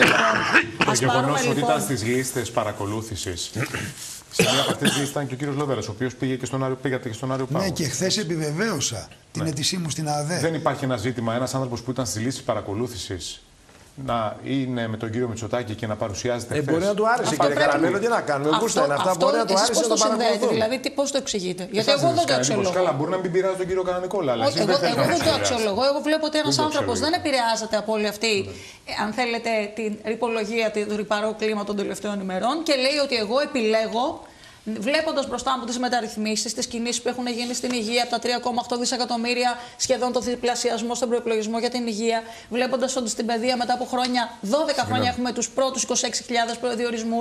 Βλέπει λοιπόν κάτι το οποίο υπερβαίνει, αν θέλετε, το ρηπαρό κλίμα ή τη σκανδαλολογία με την οποία θα πορευτούμε μέχρι τι εκλογέ. Και επειδή. Και επειδή αυτό είναι αλήθεια. Αλλά Αυτό λοιπόν ναι. Εντάξει, δεν πειράζει. Αλλά πηγαίνω, αν θέλετε, λίγο στη, στην ουσία των ημερών και στην ουσία των μηνυπάτων. Mm. Θέλω να προσθέσω κάτι στην κουβέντα που πιθανότατα έτσι και για τους νέους ανθρώπους που παρακολουθούν να έχει αξία.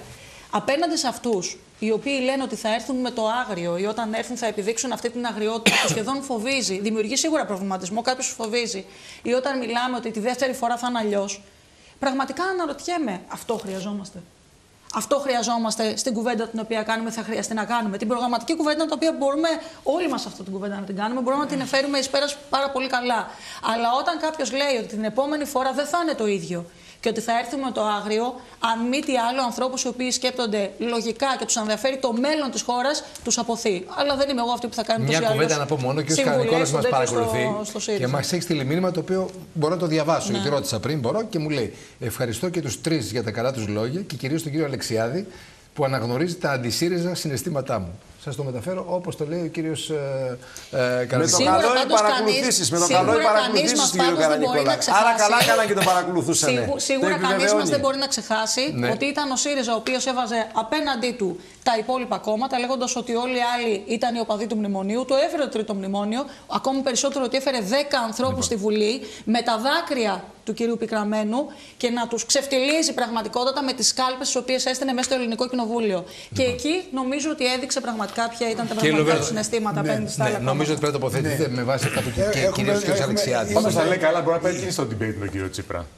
Εγώ. Ναι. Αφού ήταν εκπρόσωπος η κυρία. Μα αυτό λέω. Θυμάσαι ότι ήταν εκπρόσωπο και πολύ καλή. Αφήσαμε τον debate σε κρεμότητα. Και εξαιρετική εκπρόσωπος. Είπαμε τον debate. Της Νέας Δημοκρατίας. Το debate γίνεται εξαιρετικά. Βεβαίως. Εξαιρετικά μέσα στη Βουλή. Α, όχι στην τηλεόραση.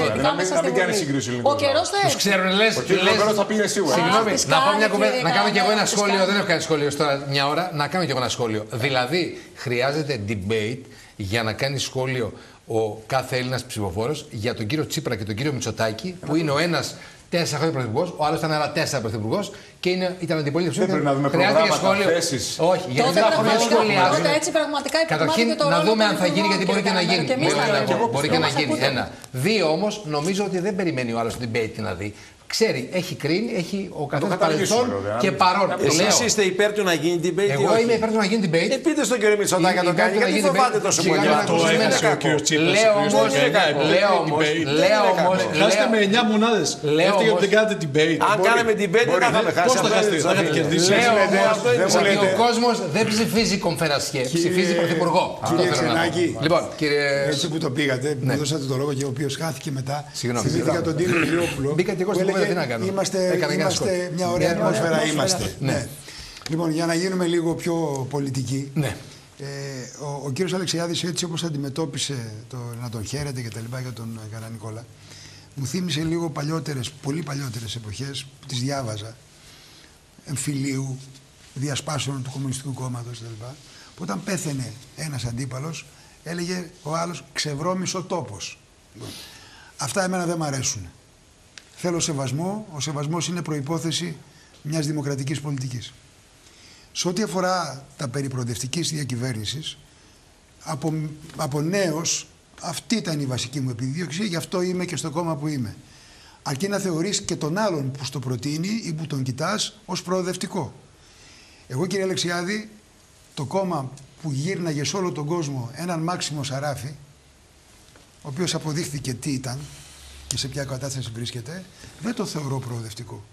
Το κόμμα Άρα το δεν μπορεί σήμερα... να κάνει κυβέρνηση με το ΣΥΡΙΖΑ. Να, να καταλάβω. Αφήστε με να σας πω. Το κόμμα Μην το, το πάτε γύρω-γύρω. Στην ουσία το, όχι, το κόμμα το οποίο έχει εκπροσώπους γνωστούς μου και τους ξέρω χρόνια και στην Βουλή είμαστε και κάποια χρόνια μαζί που λένε θα έρθουμε με το άγριο.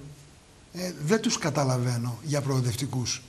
Δεν αμφισβητώ ότι είναι ένα κόμμα που δημοκρατικά αναδεικνύεται, προφανώς. Αλλά δεν τους αισθάνομαι κοντά μου σε ό,τι αφορά τη δημοκρατία. Γιατί η δημοκρατία που την έχετε βάλει και πρώτο θέμα δεν είναι μια αφηρημένη έννοια. Έχει διάφορα σκέλη που ενσωματώνονται στο Σύνταγμα, στους νόμους, στον τρόπο της πολιτικής συμπεριφοράς. Άρα προγραμματικά βλέπετε ότι δεν γίνεται κυβέρνηση. Απαντήστε στην ουσία, μην το πάτε γύρω-γύρω. Εγώ είμαι ευθύς. Στην ουσία. Δεν ανήκετε σε προοδευτικό κόμμα. Α, δεν είμαστε προοδευτικό κόμμα ΣΥΡΙΖΑ. Δεν είστε προοδευτικό Είναι κόμμα. Είναι η Νέα Δημοκρατία που κύριος Κανανικόλας. Με ποιον θα κάνετε κυβέρνηση, κύριε Ρομπέρδο. Με ρωτάτε για προοδευτικό κόμμα. Με τους Ιλουμινάτε θα κάνετε κυβέρνηση. την Κυριακή το βράδυ. Ζητάτε ψήφο. Με ποιους θα κάνετε κυβέρνηση; Γιατί με διακόπτετε; Δεν σας διακόπτω. Ρωτάω. Γιατί με διακόπτετε; Ρωτάω κάτι συγκεκριμένο και δεν απαντάτε. Με ποιους θα κάνετε κυβέρνηση. Γιατί με διακόπτετε; Τι είστε; Δεν είμαι ανακριτής. Θέλω να καταλάβω. Δεν θα καταλάβετε τίποτα γιατί δεν θέλετε να καταλάβετε. Γιατί παίζετε παιχνίδι, παίζετε παιχνίδι στις πλάτες των ψηφοφόρων μας. Σας απάντησα ευθέως. Ανήκετε σε μη προοδευτικό κόμμα. Συνεπώς, το περιπροοδευτικό Ευχαριστούμε πάρα πολύ για το δώρο, κύριε Λεβέρδο. Ευχαριστούμε πάρα πολύ. Το δώρο δεν θα το κάνετε στον εαυτό σας με εκβιασμούς να βάζετε την εκπρόσωπο τύπου σας να λέει ότι ο πρόεδρος μας εκβιάζεται. Αυτό δεν δείχνει κόμμα που θέλει συνεργασίες. Δείχνει κόμμα που θέλει να κυδεμονεύσει και να καταπιεί τα επόμενα. Να ξέρουν τι θα ψηφίσει ο κόσμος. πήγατε στον Άριο Πάγο για την παρακολούθησή σας. Σας άκουσα προχτές και Πήγα στην ΑΔΕ. Στην ΑΔΕ, ναι, συγγνώμη. Στην ΑΔΕ. Επίσης, σας άκουσα σε μια εκπομπή προχτές στο Μέγκα, αν δεν κάνω λάθος, που λέγατε ότι την προηγούμενη μέρα της σύλληψης, κύριε Καρλίτση, λέγατε για την παρακολούθησή σας. Ναι, ναι. Και ήσασταν σε μια λίστα Έτσι. Δεν κρίνει το σοβαρό το ότι ο κύριος Καρανικόλας, πρώην συνεργάτης σας, εγώ το αφήνω τελείως στην άκρη αυτό. Ήταν σε ίδιες λίστες παρακολούθησης και πηγαίνει και συνεργάζεται με αυτούς που τον παρακολουθούσαν. Για... Μπορεί να πει κάποιος κακοπροαίρετος ότι Κακοπροαίρετος, Κύριε Καραμέρο, ε, κρατήστε με στο επίπεδό μου, γιατί δεν πρόκειται να πέσω από το επίπεδό μου. Ναι. Δεν θα κάνω debate, δεν θα κάνω συζήτηση σε βάρος ανθρώπων. Εγώ ρωτήθηκα γι' αυτό και απήντησα. Σε ό,τι αφορά όμως τις παρακολουθήσεις, ναι. είπα στη Βουλή πριν από λίγες μέρες ότι η Νέα Δημοκρατία δεν ξόφλησε επειδή πήρε 156 ψήφους στην πρόταση της πιστείας. Είπα ότι οι 156 ψήφοι δεν τελειώνουν τα θέματα. Τελειώνουν το ερώτημα να πέσει να μην πέσει η κυβέρνηση. Γιατί είναι πρόταση της πιστείας. Και ξέρουμε σε όλη την Ευρώπη ότι από τις προτάσεις της πιστείας δεν πέφτουν συχνά οι κυβερνήσεις. Γιατί έχουν έτσι μετωπιμένες πλειοψηφίες. Όμως, οι προτάσεις της πιστείας κατατείνουν στο να δείξουν αν έχει δίκιο η αντιπολίτευση ή η κυβέρνηση. Δεν τελείωσε το θέμα. Για μένα το θέμα είναι ανοιχτό.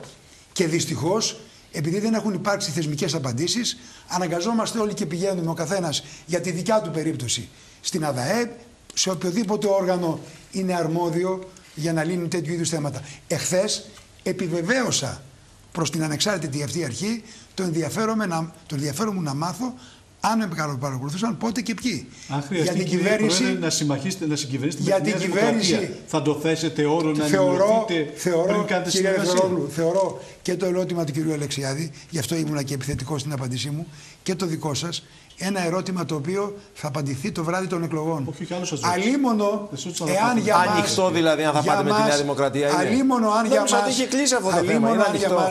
Να σας πω, θα έρθει η σειρά σας μην έχετε τέτοια πρεμούρα. Να καταλάβω κύριε Λεβέρδο. είναι, είναι ανοιχτό αν θα συνεταιριστεί με τη Νέα Δημοκρατία. τον άλλον να του πει Διπλό το δώρο να αποφασίσει πρώτων εκλογών με ποιον θα πάει, σημαίνει ότι στο μυαλό του τον έχει για τσόντα. Ο κύριος Αλεξιάδης ή η κυρία Ζαχαράκη, δεν ξέρω αν θα μου το πει και η ίδια, εσείς κύριε Ελευθερόγλου, σαν να έχετε στο μυαλό σας ότι το Πασόκ είναι μια. Εγώ έχω ζήσει, έχω ζήσει τις μεγάλες ημέρες του Πασόκ. Υπήρξα υπουργός και βουλευτής του Πασόκ του 45%. Από το μυαλό μου αυτή η διάσταση δεν θα βγει ποτέ και γι' αυτό μάχομαι. Όποιος μου λέει να μην ασχολούμαι με το πώς θα δυναμώσω αλλά να του πω το από τώρα αν θα είμαι το δεκανίκι του, του λέω ότι το δεκανίκι του να το δώσει αλλού, όχι σε εμάς. Μάλιστα. Λοιπόν, μισό λεπτό να βάλουμε μια. Έτσι, κύριε Ζαχράκη, θέλετε να κάνει κάποιο σχόλιο και σε επ' αυτού; Εγώ σχόλιο από αυτού προφανώς για συνεργασία δεν θα κάνω κανένα. Αντιθέτως, αυτό το οποίο λέω αυτή τη στιγμή στις τηλεθεάτριες και τηλεθεατές είναι ένα πράγμα που βγαίνει ως ασφαλές συμπέρασμα. Αν θέλουν συνέπεια, συνέχεια και σταθερότητα, ξέρουν τι να ψηφίσουν. Θετικά, όχι αντιδραστικά, όχι ναι, αρνητικά. Ξέρουν ότι αν θέλουν μια κυβέρνηση η οποία μπορεί να λαμβάνει αποφάσεις χωρίς καθυστερήσεις, σε σύντομο και σε χρονικό διάστημα, αλλά και σε πολύ δύσκολο συγκείμενο και περιβάλλον, ξέρουν ότι πρέπει να στηρίξουν τη Νέα Δημοκρατία. Εμείς λογοδοτούμε και κοιτάμε στα μάτια και λέμε ότι ό,τι υποσχεθήκαμε το κάναμε. Μπορούσαμε καλύτερα. Ναι. Πραγματικά την επόμενη φορά, αν ο κόσμος μας ψηφίσει θετικά, και την αύξηση στο, στο, στο μισθό θα δουν. Συγχρόνως θα επιβεβαιώσουμε και όλες τις θετικέ πολιτικές που κάναμε πριν. Οι υπόλοιπες, αν θέλετε, συζητήσεις περί συναλλαγών, ούτε βέβαια ποτέ θα υπονοούσαμε ότι ένα τρίτο κόμμα θα μπορούσε να λειτουργήσει ως τρώνε, όπως είπατε. Γι' αυτό δεν πήγα καθόλου σε αυτή τη συζήτηση. Ναι, αλλά μισό λεπτό. Ψηφίζουμε σταθερά την Κυριακή των εκλογών, έτσι ώστε να αποφασίσουμε ότι ο Πρωθυπουργός, γιατί αυτό είναι ένα, ένα διακύβευμα πολύ σημαντικό να ξέρεις ότι τι ψήφισες και να ξέρεις ποιος θα σε κυβερνήσει. Εγώ είχα ακούσει τον κύριο Ανδρουλάκη, ο οποίος λέει δεν θα ήθελε κυβέρνηση με τον κύριο Μητσοτάκη. Εγώ, πρωθυπουργό. δεν ξέρω τι άλλαξε, τι συμβαίνει. Ξέρω ότι εγώ ζητάω τη θετική ψήφο των Ελλήνων για μια αυτοδύναμη κυβέρνηση, ναι. για σταθερότητα, συνέπεια για συνέχεια. Κύριε Ζαχαράκη, να επιμείνω λίγο σε εσάς, γιατί ναι. ε, ε, μονοπόλησαν λίγο την κουβέντα ναι. οι, άλλοι δύο. Συγγνώμη, κύριε, λίγο. κύριε ναι. Ξενάκη, ναι. όταν λέει ζητάμε ψήφο για αυτοδύναμη κυβέρνηση με απλή αναλογική, τι εννοεί. Ε, αυτό θέλω να ρωτήσω. Θέλω να ρωτήσω λοιπόν ότι επειδή. Πολύ στα μάτια κοιτάτε το πολύ, να το Θέλω να ρωτήσω αυτό. Όταν λέτε όμως αυτοδύναμη κυβέρνηση, πώς θα πάρετε στην απλή αναλογική 40%. Ούτως ή άλλως για την πρώτη κάλπη μιλάμε. Άρα η πρώτη κάλπη είναι άκυρη. Άρα η πρώτη κάλπη είναι άκυρη. είναι πιο σημαντική. Είναι ε, πιο σημαντική. Γι αυτό, όχι καθόλου. Λέτε, είναι μιλάτε για αυτοδυναμία από την πρώτη Κυριακή. Εγώ δεν το έχω Κύριε Βερδο, είναι δυνατόν. Καλά, είμαι, πιστεύετε, είμαι μαθή στα κομμάτια των εκλογικών συστημάτων. Προφανώς και δεν σας προσβάλλω και δεν το ε, εννοώ ε, αυτό. Αλλά δεν μπορώ να καταλάβω τι είναι αυτό που λέτε. Ψηφίστε εμά, λέτε, για να έχουμε μια αυτοδυναμία. Με απλή αναλογική δεν γίνεται αυτό. Από την πρώτη Κυριακή. Αλλιώς το λέτε τώρα. Τώρα το λέτε αλλιώς. Ερώτηση. Θα υπάρχει όμως και δεύτερη Κυριακή και θέλω να σας πω ότι πρέπει, δεν ξέρω, μπορεί να μην έχετε αυτοδυναμία. Θέλει ένα 38, 37, 39%. Για αυτή θα παλέψουμε. Θα την παλέψουμε. Αν δεν τα καταφέρετε όμως, το Πασόκ θα μπορούσε να είναι κυβερνητικό εταίρο. αυτό το σενάριο. Εμείς συζητάμε για το. Δεν υπάρχουν δεν σενάρια άλλα για μας. Είναι σενάριο ενός δυνατού αποτελέσματος. Ε, και αν το φέρει ζωή αυτό, τι να κάνουμε τώρα; Θα απαντήσει ζωή. Θα πάμε σε τρίτε κάλπε. Θα πάμε, όχι γιατί κατηγορούμε το, το, το Πασόκ γι' αυτό και λέμε ότι ο κ. Σταυρουλάκη λέει δεν θέλουμε τον ένα, δεν θέλουμε τον άλλον. Τι θα κάνει, θα μας πηγαίνει 10 φορές εκλογές. Θα μας πάτε εσείς τρίτη φορά εκλογές; Εγώ δεν κατηγόρησα κανέναν. Αντιθέτως, παλεύω και θα παλέψουμε όλοι μαζί ως μια ομάδα. Ναι. Αραγές μέτωπο για να πετύχουμε το καλύτερο δυνατό αποτέλεσμα. Και πιστεύω ότι οι πολίτες θα μας το δώσουν. Τώρα θα σας ρωτήσω, ε, θα γίνουν εκλογές 9 Απριλίου; Τι λέτε εσείς; Δεν το γνωρίζω. Καλά, δεν θα αποφασίσετε εσείς. Αν είναι 9 Απριλίου, έχετε συνειδητοποιήσει ότι διαλύεται η Βουλή σε λίγες μέρες; Αυτό είναι. Δεν είναι 10 Μαρτίου πρέπει να διαλυθεί. Ναι, παιδιά, έχουμε 9 σήμερα.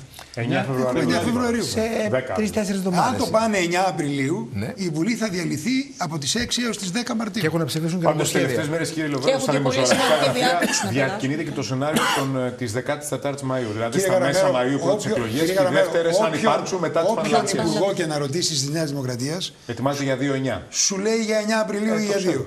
Για να στο λένε όλοι τότε. Κάτι ξέρουν. Κάτι δεν είναι έτσι. Θα γίνει άλλη δεν μέρα. είναι έτσι γιατί μας το λέγανε και τον Ιούνιο. Άλλη φορά; Μας το λέγανε και τον ναι. Ιούνιο, θα γίνει το καλοκαίρι. Ναι. Και δεν γίνει ποτέ. Ναι. Μεταξύ ε, όταν το αυτό τώρα. Ότι, όταν το... Σιγά. Ήρθε ο Αύγουστος. Ε, έπαιξαν λοιπόν, πάντως κύριε Αλεξιάδη, βλέπω ότι ο, ο, ο πρώτος εν δυνάμει δυνητικά σύμμαχός σας για μια προοδευτική διακυβέρνηση δεν είναι σε μια ευθεία όλος. Υπάρχουν από ό,τι καταλαβαίνετε. Κοιτάξτε, εγώ σέβομαι τα όσα λέει ο κ. Λοβέρδος. Διαβάζω όμως και τα όσα λέει το επίσημο Πασόκ που λέει. Εγώ λέω ότι λέει το επίσημο Πασόκ. Λέει το επίσημο Πασόκ. Έχω διαβάσει που λέει ότι εάν υπάρξει ότι θέλουν σοσιαλδημοκρατική, σοσιαλδημοκρατική κυβέρνηση, σοσιαλδημοκρατική κυβέρνηση με, με προοδευτική κατεύθυνση. Επειδή δεν μπορούμε να δημιουργήσουμε καινούργιο πολιτικό κόμμα και να εμφανιστεί κάτι καινούργιο αυτές τις μέρες, είναι συγκεκριμένα τα κόμματα.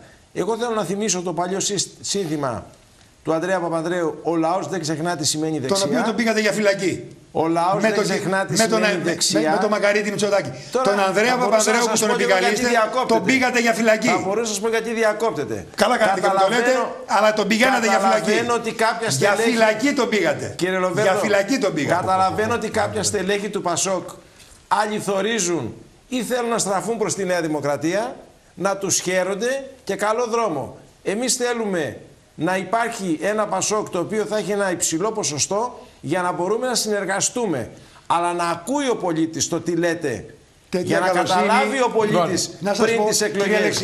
Διότι εσείς αφήνετε ανοιχτό το ενδεχόμενο να ψηφίσει κάποιος Πασόκ με την καλοσύνη σας που προκαλείτε συγκίνηση. Θα δακρύσω σήμερα. Θα δακρύσω. Λοιπόν, μια κουβέντα Κηδεμόνα ναι. δεν μας αξίζει. Λοιπόν. Κηδεμόνα δεν αναζητάμε και Σε κάθε κουβέντα αναζητήστε αλλού. Όχι σε εμάς. Όχι σε εμάς. Κύριε Ζαχαράκη, πανηγυρίζει ο Άγιος Βλάσης. Θα πάμε. Θα πάτε, θα πάτε, θα πάτε. Θα πάτε. Κύριε Ζαχαράκη, μια κουβέντα. Αλλάζω λίγο το κλίμα. Θέλω να θυμηθούμε και να κάνουμε και ένα λόγο για τον Μανούσο Βολουδάκη. Το βουλευτή μας, ο οποίος έτσι σε ηλικία μπορούσε να προσφέρει πολλά ένας μαχητικός πολιτικός, πολύ έντιμος άνθρωπος, λάτρης των Χανίων και των Σφακίων, ε, δεν είναι πια μαζί μας και πραγματικά ε, εμείς το Σάββατο θα τον αποχαιρετήσουμε και πραγματικά στηρίζουμε την οικογένειά του, τη Σέβη, τα παιδιά. Εγώ θέλω να προσθέσω μόνο ότι μακάρι η πολιτική του ευπρέπεια να είναι πρότυπο για την λειτουργία από όλων των Μακάρι να είναι πρότυπο. Θέλω να σα πω κάτι για τον Μανούσο. Ναι. Ε, ήταν πρόεδρος στην Επιτροπή Μεσογειακών Χωρών της Κοινοβουλευτικής Συνέλευσης του ΝΑΤΟ και θα τον επανεκλέγαμε. Και ε, αυτή η επιτροπή ήρθε να συνεδριάσει στην Αθήνα. Τον παίρνω τηλέφωνο, του λέω θα είσαι υποψήφιος πάλι; Λέει όχι. Λέω γιατί, μου λέει έχω αρρωστήσει. Αλλά το ξεπερνάω.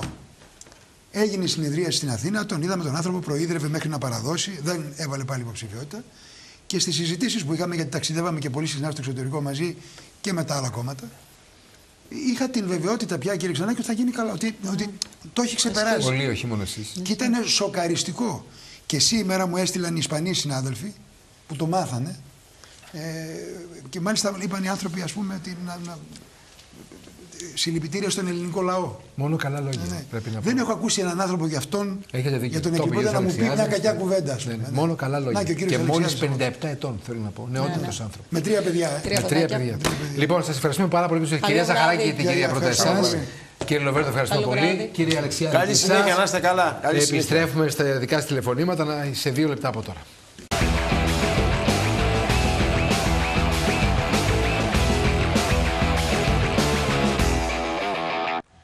Λοιπόν, επιστρέφουμε στις παρεμβάσεις εδώ, στις δικές σας πια, στον κύριο Γεωργακόπουλο στη Νέα Σμύρνη. Καλησπέρα σας. 10 δευτερόλεπτα ναι, ναι. ότι αγνοείται ζευγάρι στην Αντιόχεια Έλληνες. Δυστυχώς φαίνεται ότι έχουν. Ε, τη χατάει την πόλη που έχει ναι, Ακριβώς ε, λόγω του σεισμού. Τους αναζητεί. Το επιβεβαίωσε η πρεσβεία μας. Απλώς να το ξέρουμε. Λοιπόν, ο κύριος Γερογιάννη από την Αγία Βαρβάρα, έχω κάνει λάθος. Και κύριο Γερογιάννη, σας ακούμε. Παρακαλώ. Ναι. Γεια σας. Καλησπέρα σας. Καλησπέρα σας.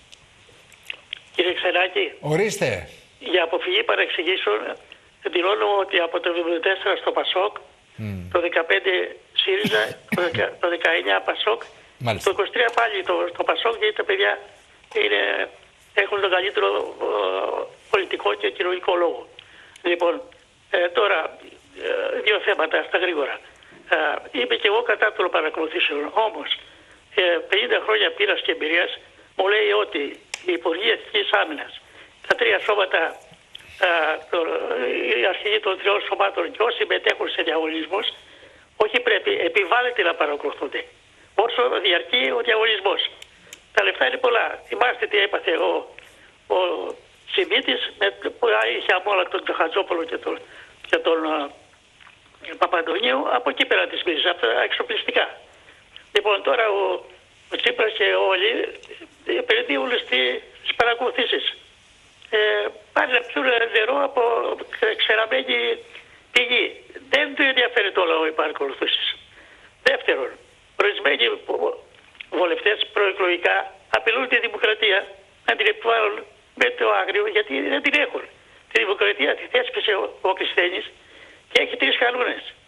Δημοκράτης είναι αυτός που χαρακτηρίζεται από το λόγο του, τη συμπεριφορά του και το έργο του βάλτε τα προφίλ ορισμένων βουλευτών, ο Σπίρτζης ας πούμε και λοιπά, που ε, από αυτά και όλοι άλλοι, να δείτε ποιος είναι πραγματικός δημοκράτης.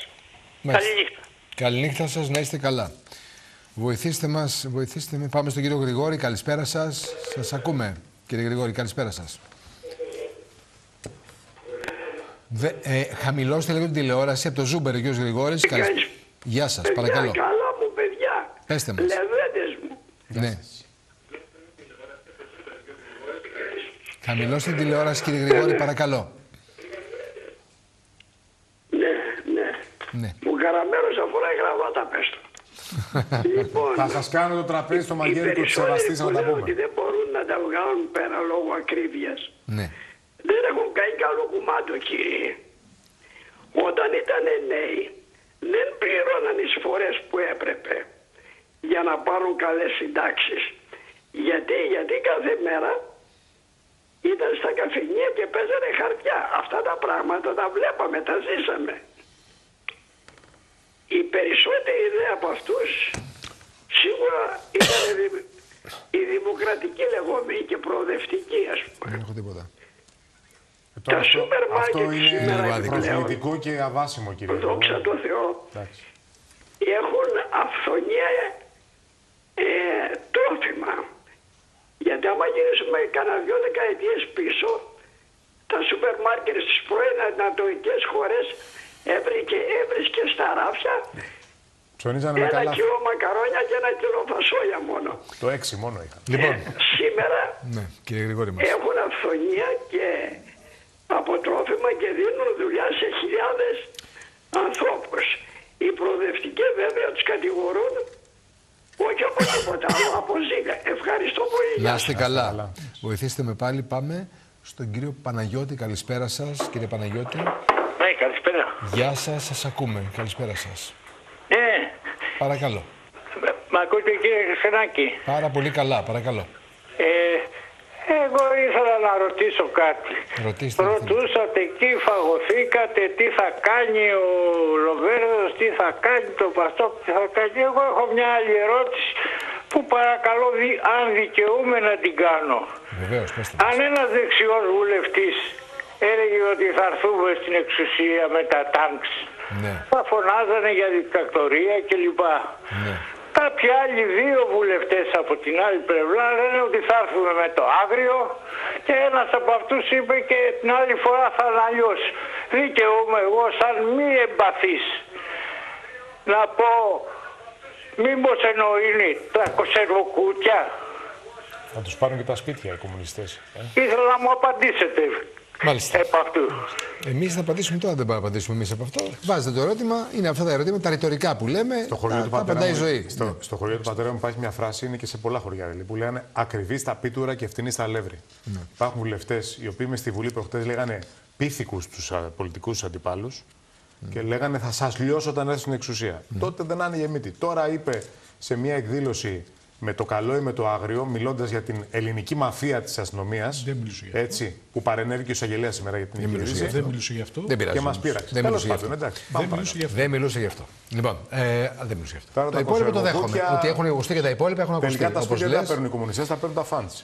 Ε, τα οποία ποιος τα έφερε; Λοιπόν, ναι, πάμε, στο, 2003, πάμε στον κύριο Παναγιώτη. Τότε που πήρε τα δάνεια ο Πάτσα, αγαπητοί συνάδελφοι. Λοιπόν, πάμε στην κυρία Παπαθανασίου. Καλησπέρα σας. Το 2015 ήρθαν επισήμως. Καλησπέρα, κυρία Παπαθανασίου. Σας, ε, Καλησπέρα και στους τρεις. Γεια σας, γεια σας. Ε, θα, θα πω κάτι που αφορά τους σεισμούς. Να μας πείτε. Γιατί είναι επίκαιρο το θέμα. Και, και θα αναφερθώ στο 95. Να μην ξεχνάμε το 95, 7,5 ρίχτερ, το σεισμό του Αιγείου. Το θυμόμαστε, έχει πέσει ένα ξενοδοχείο. Και δεδομένου ότι στην Ακράτα, εκεί που έχασα το σπίτι μου για 500 ευρώ κοινότητα. Ε, ένα ξενοδοχείο έχει καταρρεύσει, νομίζω. Είναι viral ναι. το θέμα μου. Ναι. Ήμουνα στην μια πολυκατοικία εκεί που είχε το διαμέσμα και κόπηκαν τα θεμέλια στην λόγω οικοδομή. Απλώς έκανα μια αναφορά να μην ξεχνιόμαστε, να μην μας εντυπωσιάζει το 7,5 ρίχτερ στην Τουρκία. Το ζήσαμε στο Αίγιο το 95 και επειδή ο προμηθειακό είναι επικίνδυνος, μπορεί ο Σονούπο ναι. να επαναληφθεί. Το απέφχομαι βέβαια. Τώρα, κύριε Ξενάκη, εγώ δεν ήξερα σήμερα ότι έγινε αυτό στον Άριο Πάγο, το οποίο ναι. εμένα προσωπικά δεν με αφορά, γιατί εγώ ό,τι ήταν να πάθω, το έπαθα το 18. Μάλιστα. Και ε, ε, έχω να πω σήμερα, συμπτωματικά, κάτι καινούριο. Υπάρχει υπόδειξη της νομικής υπηρεσίας του Πρωθυπουργού που έχω ενημερώσει, να ενημερωθεί άμεσα ο εισαγγελέας του Αρίου Πάγου, ναι. ακριβώς τι συνέβη με τον πληστηριασμό του σπιτιού μου και, να, και παρότρινση του νυν έγκριτο και αξιολογότητα του εισαγγελέα σε τον πατρόν, το τονίζω το νυν. Ναι. Και παράλληλα, τελειώνω με αυτό, το, είναι και χρηστικό για όσους από εδώ και πέρα υποστούν αυτά που έχω υποστεί εγώ και υφίσταμαι. Μάλιστα. Ε, θεωρείται ανάλγητη η απόφαση της Πρωτοδίκου Καλαβρίτων, η οποία δεν έκανε δεκτή την ανακοπή. ναι. Και παράλληλα δεν υπολόγισε, όπως μου το έχουν στείλει ο νομικός κλάδος της χώρας μου, και παράλληλα ε, δεν υπολόγισε, έκανε καταχρηστική ε, δεν υπολόγισε την κλείστε, αρχή της αναλογικότητας, κλείστε, κλείστε. καθώς η εκτέλεση της βάρους μου είναι καταχρηστική. Δηλαδή το διαμέρισμά μου έκανε 100.000 Μάλιστα. και η κυρία μου το πληστηρίασε για 500 ευρώ κοινόχρηστα, απλά. Μάλιστα. Λοιπόν, κυρία Παθανασίου, ευχαριστούμε πάρα πολύ. Έχουμε μιλήσει αρκετές φορές για το θέμα σας. Καλά κάνετε και το λέτε δημοσίως. Είναι, είναι μεγάλος πόνος. Ναι, ναι, ναι, ναι. Εκεί έχει βρει μια κόντρα με τους διαχειριστές. Το αντιλαμβάνομαι. Είναι... Το έχουμε ξανακουβεντιάσει. Να είστε καλά. Πάμε στον κύριο Γεωργόπουλο από τα Σεπόλια. Καλησπέρα, σας ακούμε. Σίγουρα είναι τραγικό. Καλησπέρα σας. Ναι. Γεια σας. Καλησπέρα σε όλους σας. Γεια σας, γεια σας. Κύριε, κύριε Ξενάκη, Παρακαλώ. Είμαι, 70, είμαι 73 χρονών. Να τα Είμαι 44 χρόνια συνταξιούχος. Από τροχαίο ατύχημα και ο υπουργός Οικονομικών με 80% αναπηρία μου λέει επειδή είσαι παλιά α, το, μου, από το 2004 έχω βγει με 10 επιτροπές με 80% ναι. δεν δικαιούσε η έκπτωση μου λέει. Πρέπει να ξαναπεράσεις και πά. Εγώ είμαι πάνω σε ένα κρεβάτι τι, τι και πάω να πάω εγώ τώρα να πούμε Απορώ για να πάω εγώ. Άμα μου λέτε 44 χρόνια ότι είστε συνταξιούχος, από, δηλαδή από 30 ετών ουσιαστικά 29 ετών. Από 29 κύριε, από ε, 29 ετών και εγώ απορώ πραγματικά. Δεν ξέρω, το Υπουργείο Οικονομικών μας ακούει φαντάζομαι, το λέω και άλλη μια φορά. Οι συνεργάτες του κ. Σταϊκούρα ακούνε ε, ας παρέμβουν στην υπόθεσή σας. Δεν ξέρω ποια είναι αυτή, αλλά είναι τρελό αυτό που ακούω αυτή τη στιγμή. Είναι 80% αύξηση τώρα με το ευρώ. 7,75 δεν μου βάρανε ούτε δραχμή 4,5 κατουσταρίκα σύνταξη μου δίνουνε. Ναι. Αύξηση δεν μου δώσανε καθόλου. Λοιπόν, να διορθώσω να πω ότι δεν σωστά. Και ξανά. Ναι. Μου κάνει εντύπωση, και, ναι. και μου κάνει εντύπωση από 29 χρονών. Δηλαδή είναι 44 χρόνια ο άνθρωπος. Τι να επιβεβαιώσει το ΚΕΠΑ για έναν άνθρωπο από 29 χρονών σύνταξη αναπηρίας. Κάνανε αυτή την παρουσίαση ο κ. Μητσοτάκη και ο κ. Σεντάκη το Σεπτέμβριο και είπαν για μια τελευταία μοναδική φορά. Το λέω καλά. Νίκο. Έτσι είναι, έτσι είναι. Μας το είπε και Κάποιος τους ανακαλεί ενώ το είχαν λυμμένο οι άνθρωποι. Ευχαριστούμε πολύ. Να είστε καλά. Καλό βράδυ. Ακουστήκατε δημοσίως και το Υπουργείο Εργασίας ακούει. Πάμε στην κυρία Δέσπινα από το Βύρονα. Καλησπέρα κυρία Δέσπινα, σας ακούμε. Καλησπέρα σας. Γεια σας. Καλησπέρα κύριε Ξενάκη. Γεια σας. Καλησπέρα κύριε Ξενάκη και στους συνεργάτες σας, κύριε Ελευθερόγλου, κύριε Καραμέρο. Παρακαλώ. Θα ήθελα να μιλήσω για τα κόκκινα δάνεια να πείτε. και περιμέναμε την απόφαση του Άριου Πάγου και θεωρούσαμε ότι θα είναι θετική. Δεν είναι όμως. Υπέρ των δανειολητών. Ε, πιστεύω ότι αυτή τη στιγμή ε, οι άνθρωποι που είναι μπλεγμένοι με τα φαν είναι στην, ε, κατά το πλήστον ε, με μικρές κατοικίες, εργατοϊπάλληλοι. Δεν έχουν πάντα οι άνθρωποι αυτοί συνεχή δουλειά, γιατί δεν έχουμε πια βιομηχανία. Είναι δύσκολα τα πράγματα και με την ακρίβεια και συνήθως αυτοί που είναι συνεπείς και τους λέτε πάντα συνεπείς είναι οι άνθρωποι αυτοί που 6-7 μήνες δορίζουν σε εγγόνια παιδιά κλπ. Ε, 850 αφορολόγητο, κατοικίες, ε, ε, κτήματα και τόσα άλλα. Αυτός που παράγει όμως είναι ο εργατοϊπάλληλος. Είναι ο, ο αγρότης. Επιτρέπεται να υπάρχει σύνταξη αγροτική 300 ευρώ και να λένε ότι ο Κατρούγκαλος ότι δεν πληρώναν εισφορές οι παλιοί αγρότες. Δίναν το αίμα τους. Πέντε-έξι παιδιά έχει ο καθένας και από πέντε χρονών ήταν στα κτήματα. Οι μανάδες το ίδιο. Αυτές διώξανε για Αμερικές, Αυστραλίες, Γερμανίες τα παιδιά τους. Και αυτές οι μανάδες θα είναι με 300 ευρώ επειδή όχι φορές δίναμε το αίμα μας. Μάλιστα. Το προϊόν που παρήγαγαμε ήταν ε, το δίναμε για μια ε, βουκιά ψωμί. Θέλω να πω ότι δύο μέτρα και δύο σταθμά υπάρχει αυτό το κράτος. Δεν μπορεί να, το παρακαταθήκον και δανείων να είναι ε, η τράπεζα που θα ακουμπά, ακουμπάνε οι δημόσιοι υπάλληλοι και οι άλλοι θα είναι στο, ε, στο έλεος του Θεού. Μάλιστα. Και να σας πω και κάτι. Και κλείστε, η Τουρκία το 80 ναι. ήταν 20 εκατομμύρια. Εμείς ήμασταν 10. Η Τουρκία είναι 82 Έτσι είναι, και εμείς είμαστε τώρα Λιγότεροι από 10. Ε, 10 πάλι. Και δεν είμαστε ικανοί σε αυτόν τον παράδεισο να φάμε. Παρόλο που έχουμε και αγροτική οικονομία και τόσα άλλα. Λοιπόν, Έχουμε κυρία μυαλά, Δέσποινα, κυρία Δέσποινα, κάνουμε, συγγνώμη. κάναμε ανατολικό ζήτημα Κλείστε, της κυρία Δέσποινα. τάξης. Κυρία Δέσποινα, σας παρακαλώ πάρα πολύ. Ε, Συγγνώμη, σας διακόπτουμε έτσι απότομα, αλλά πρέπει να μιλήσουν κι άλλοι. Καταλαβαίνω την ε, αγανάκτησή σας, το συνέστημά σας και όλα τα υπόλοιπα που βγάζετε. Να, να δώσουμε το λόγο και σε άλλους όμως. Νομίζω ότι ακουστήκατε.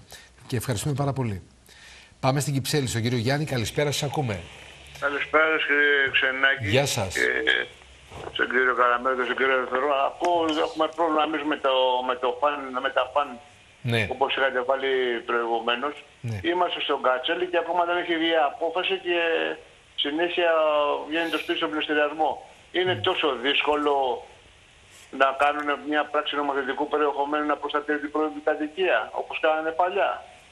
Και αφού καλύπτηκε κάποιος υπουργούς, υφυπουργούς, καλέστε τον, τον υπουργό, τον κύριο Τσιάρα ή τον υφυπουργό, πώς το λένε, να μας πει γιατί Τον κύριο καθυστερούν Κότσιρα. τόσο πολύ. Θα, θα το κάνουμε. Τον κύριο Κότσιρα. Κάλεστε αφού βλέπω και καλείτε, σας παρακολουθώ κάθε μέρα για να, να μας πούνε με απάντηση. Κύριε Γιάννη, Ένα θα το χρόνο κάνουμε, και θα το- θα απόφαση το κάνουμε. Και περιμένουμε το, την απόφαση να βγει. Θα τον καλέσουμε. Και μας παίρνουν πίσω τον πληστηριασμό. Θα τον καλέσουμε, κύριε Γιάννη. Ευχαριστούμε πάρα πολύ. Θα τον καλέσουμε. Καλή είναι η ιδέα που μας βάζετε. Θα τον καλέσουμε να κουβεντιάσουμε και για το θέμα αυτό. Λοιπόν, πάμε στην Κόρινθο, στον κύριο Μανώλη. Καλησπέρα σας.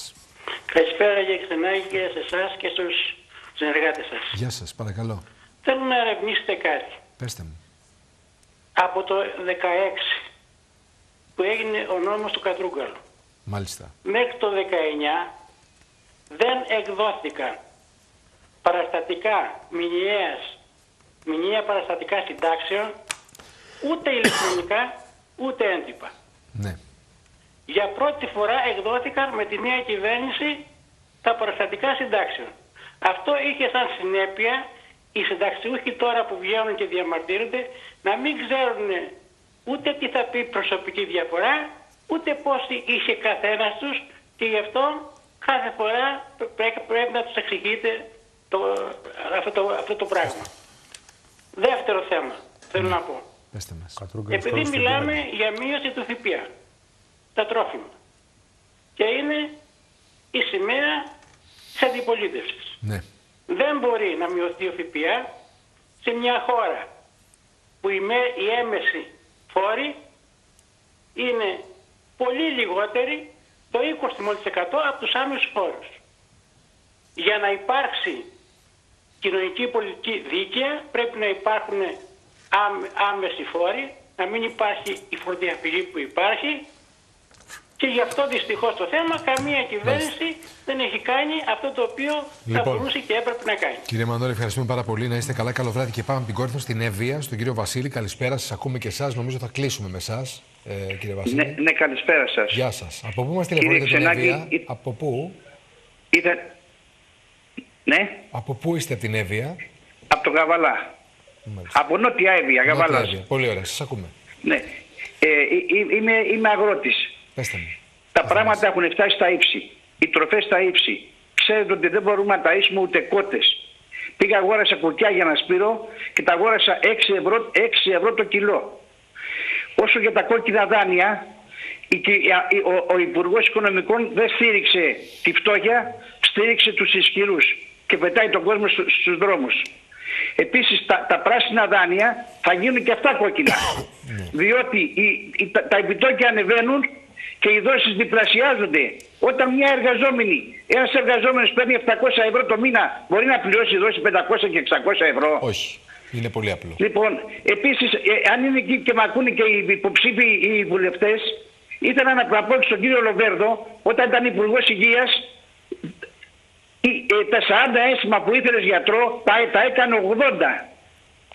80 ένσημα για να πας στο γιατρό. Ήρθε ο ΣΥΡΙΖΑ και τα κατήργησε αυτά και είπε δωρεάν υγεία για όλους. Επίση Επίσης τώρα οι υποψήφοι της Νέας Δημοκρατίας θα πάνε στα χωριά να ζητήσουν το ψήφιο, τι θα πούνε. Σας, σας βγάλαμε στους δρόμους, σας κόψαμε τα τρόφιμα, σας κάναμε τούτο, σας κόψαμε τα επιδόματα. Επίσης το Πασόκ που ήταν κυβέρνηση με τον κύριο Σαμαρά δεν κόψαν τα δώρα, δεν κόψαν τις συντάξεις, συγγνώμη, 11 φορές. Κύριε Βασίλη μας. Σας Όλα τα κόψανε. Σας ευχαριστούμε πάρα πάρα πολύ και εσάς. Να είστε καλά. Μια φωνή έτσι πάλι αγανάκτηση και αυτή. Από την Εύη αυτή τη φορά κάναμε και κύκλο γύρω από την Αττική. Σήμερα δεν μείναμε μόνο στην Αττική. Λοιπόν, δεν έχουμε άλλο χρόνο. Σας ευχαριστούμε πάρα πολύ που ήσασταν μαζί μας και απόψε το βράδυ. Θα ανανεώσουμε το ραντεβού μας για αύριο ε, Παρασκευή στις 10 παρα 10 με ένα πολύ ενδιαφέρον πάνελ επίσης ε, όπως το απόψινό. Καλή συνέχεια, καλό βράδυ. Να προσέχετε τον εαυτό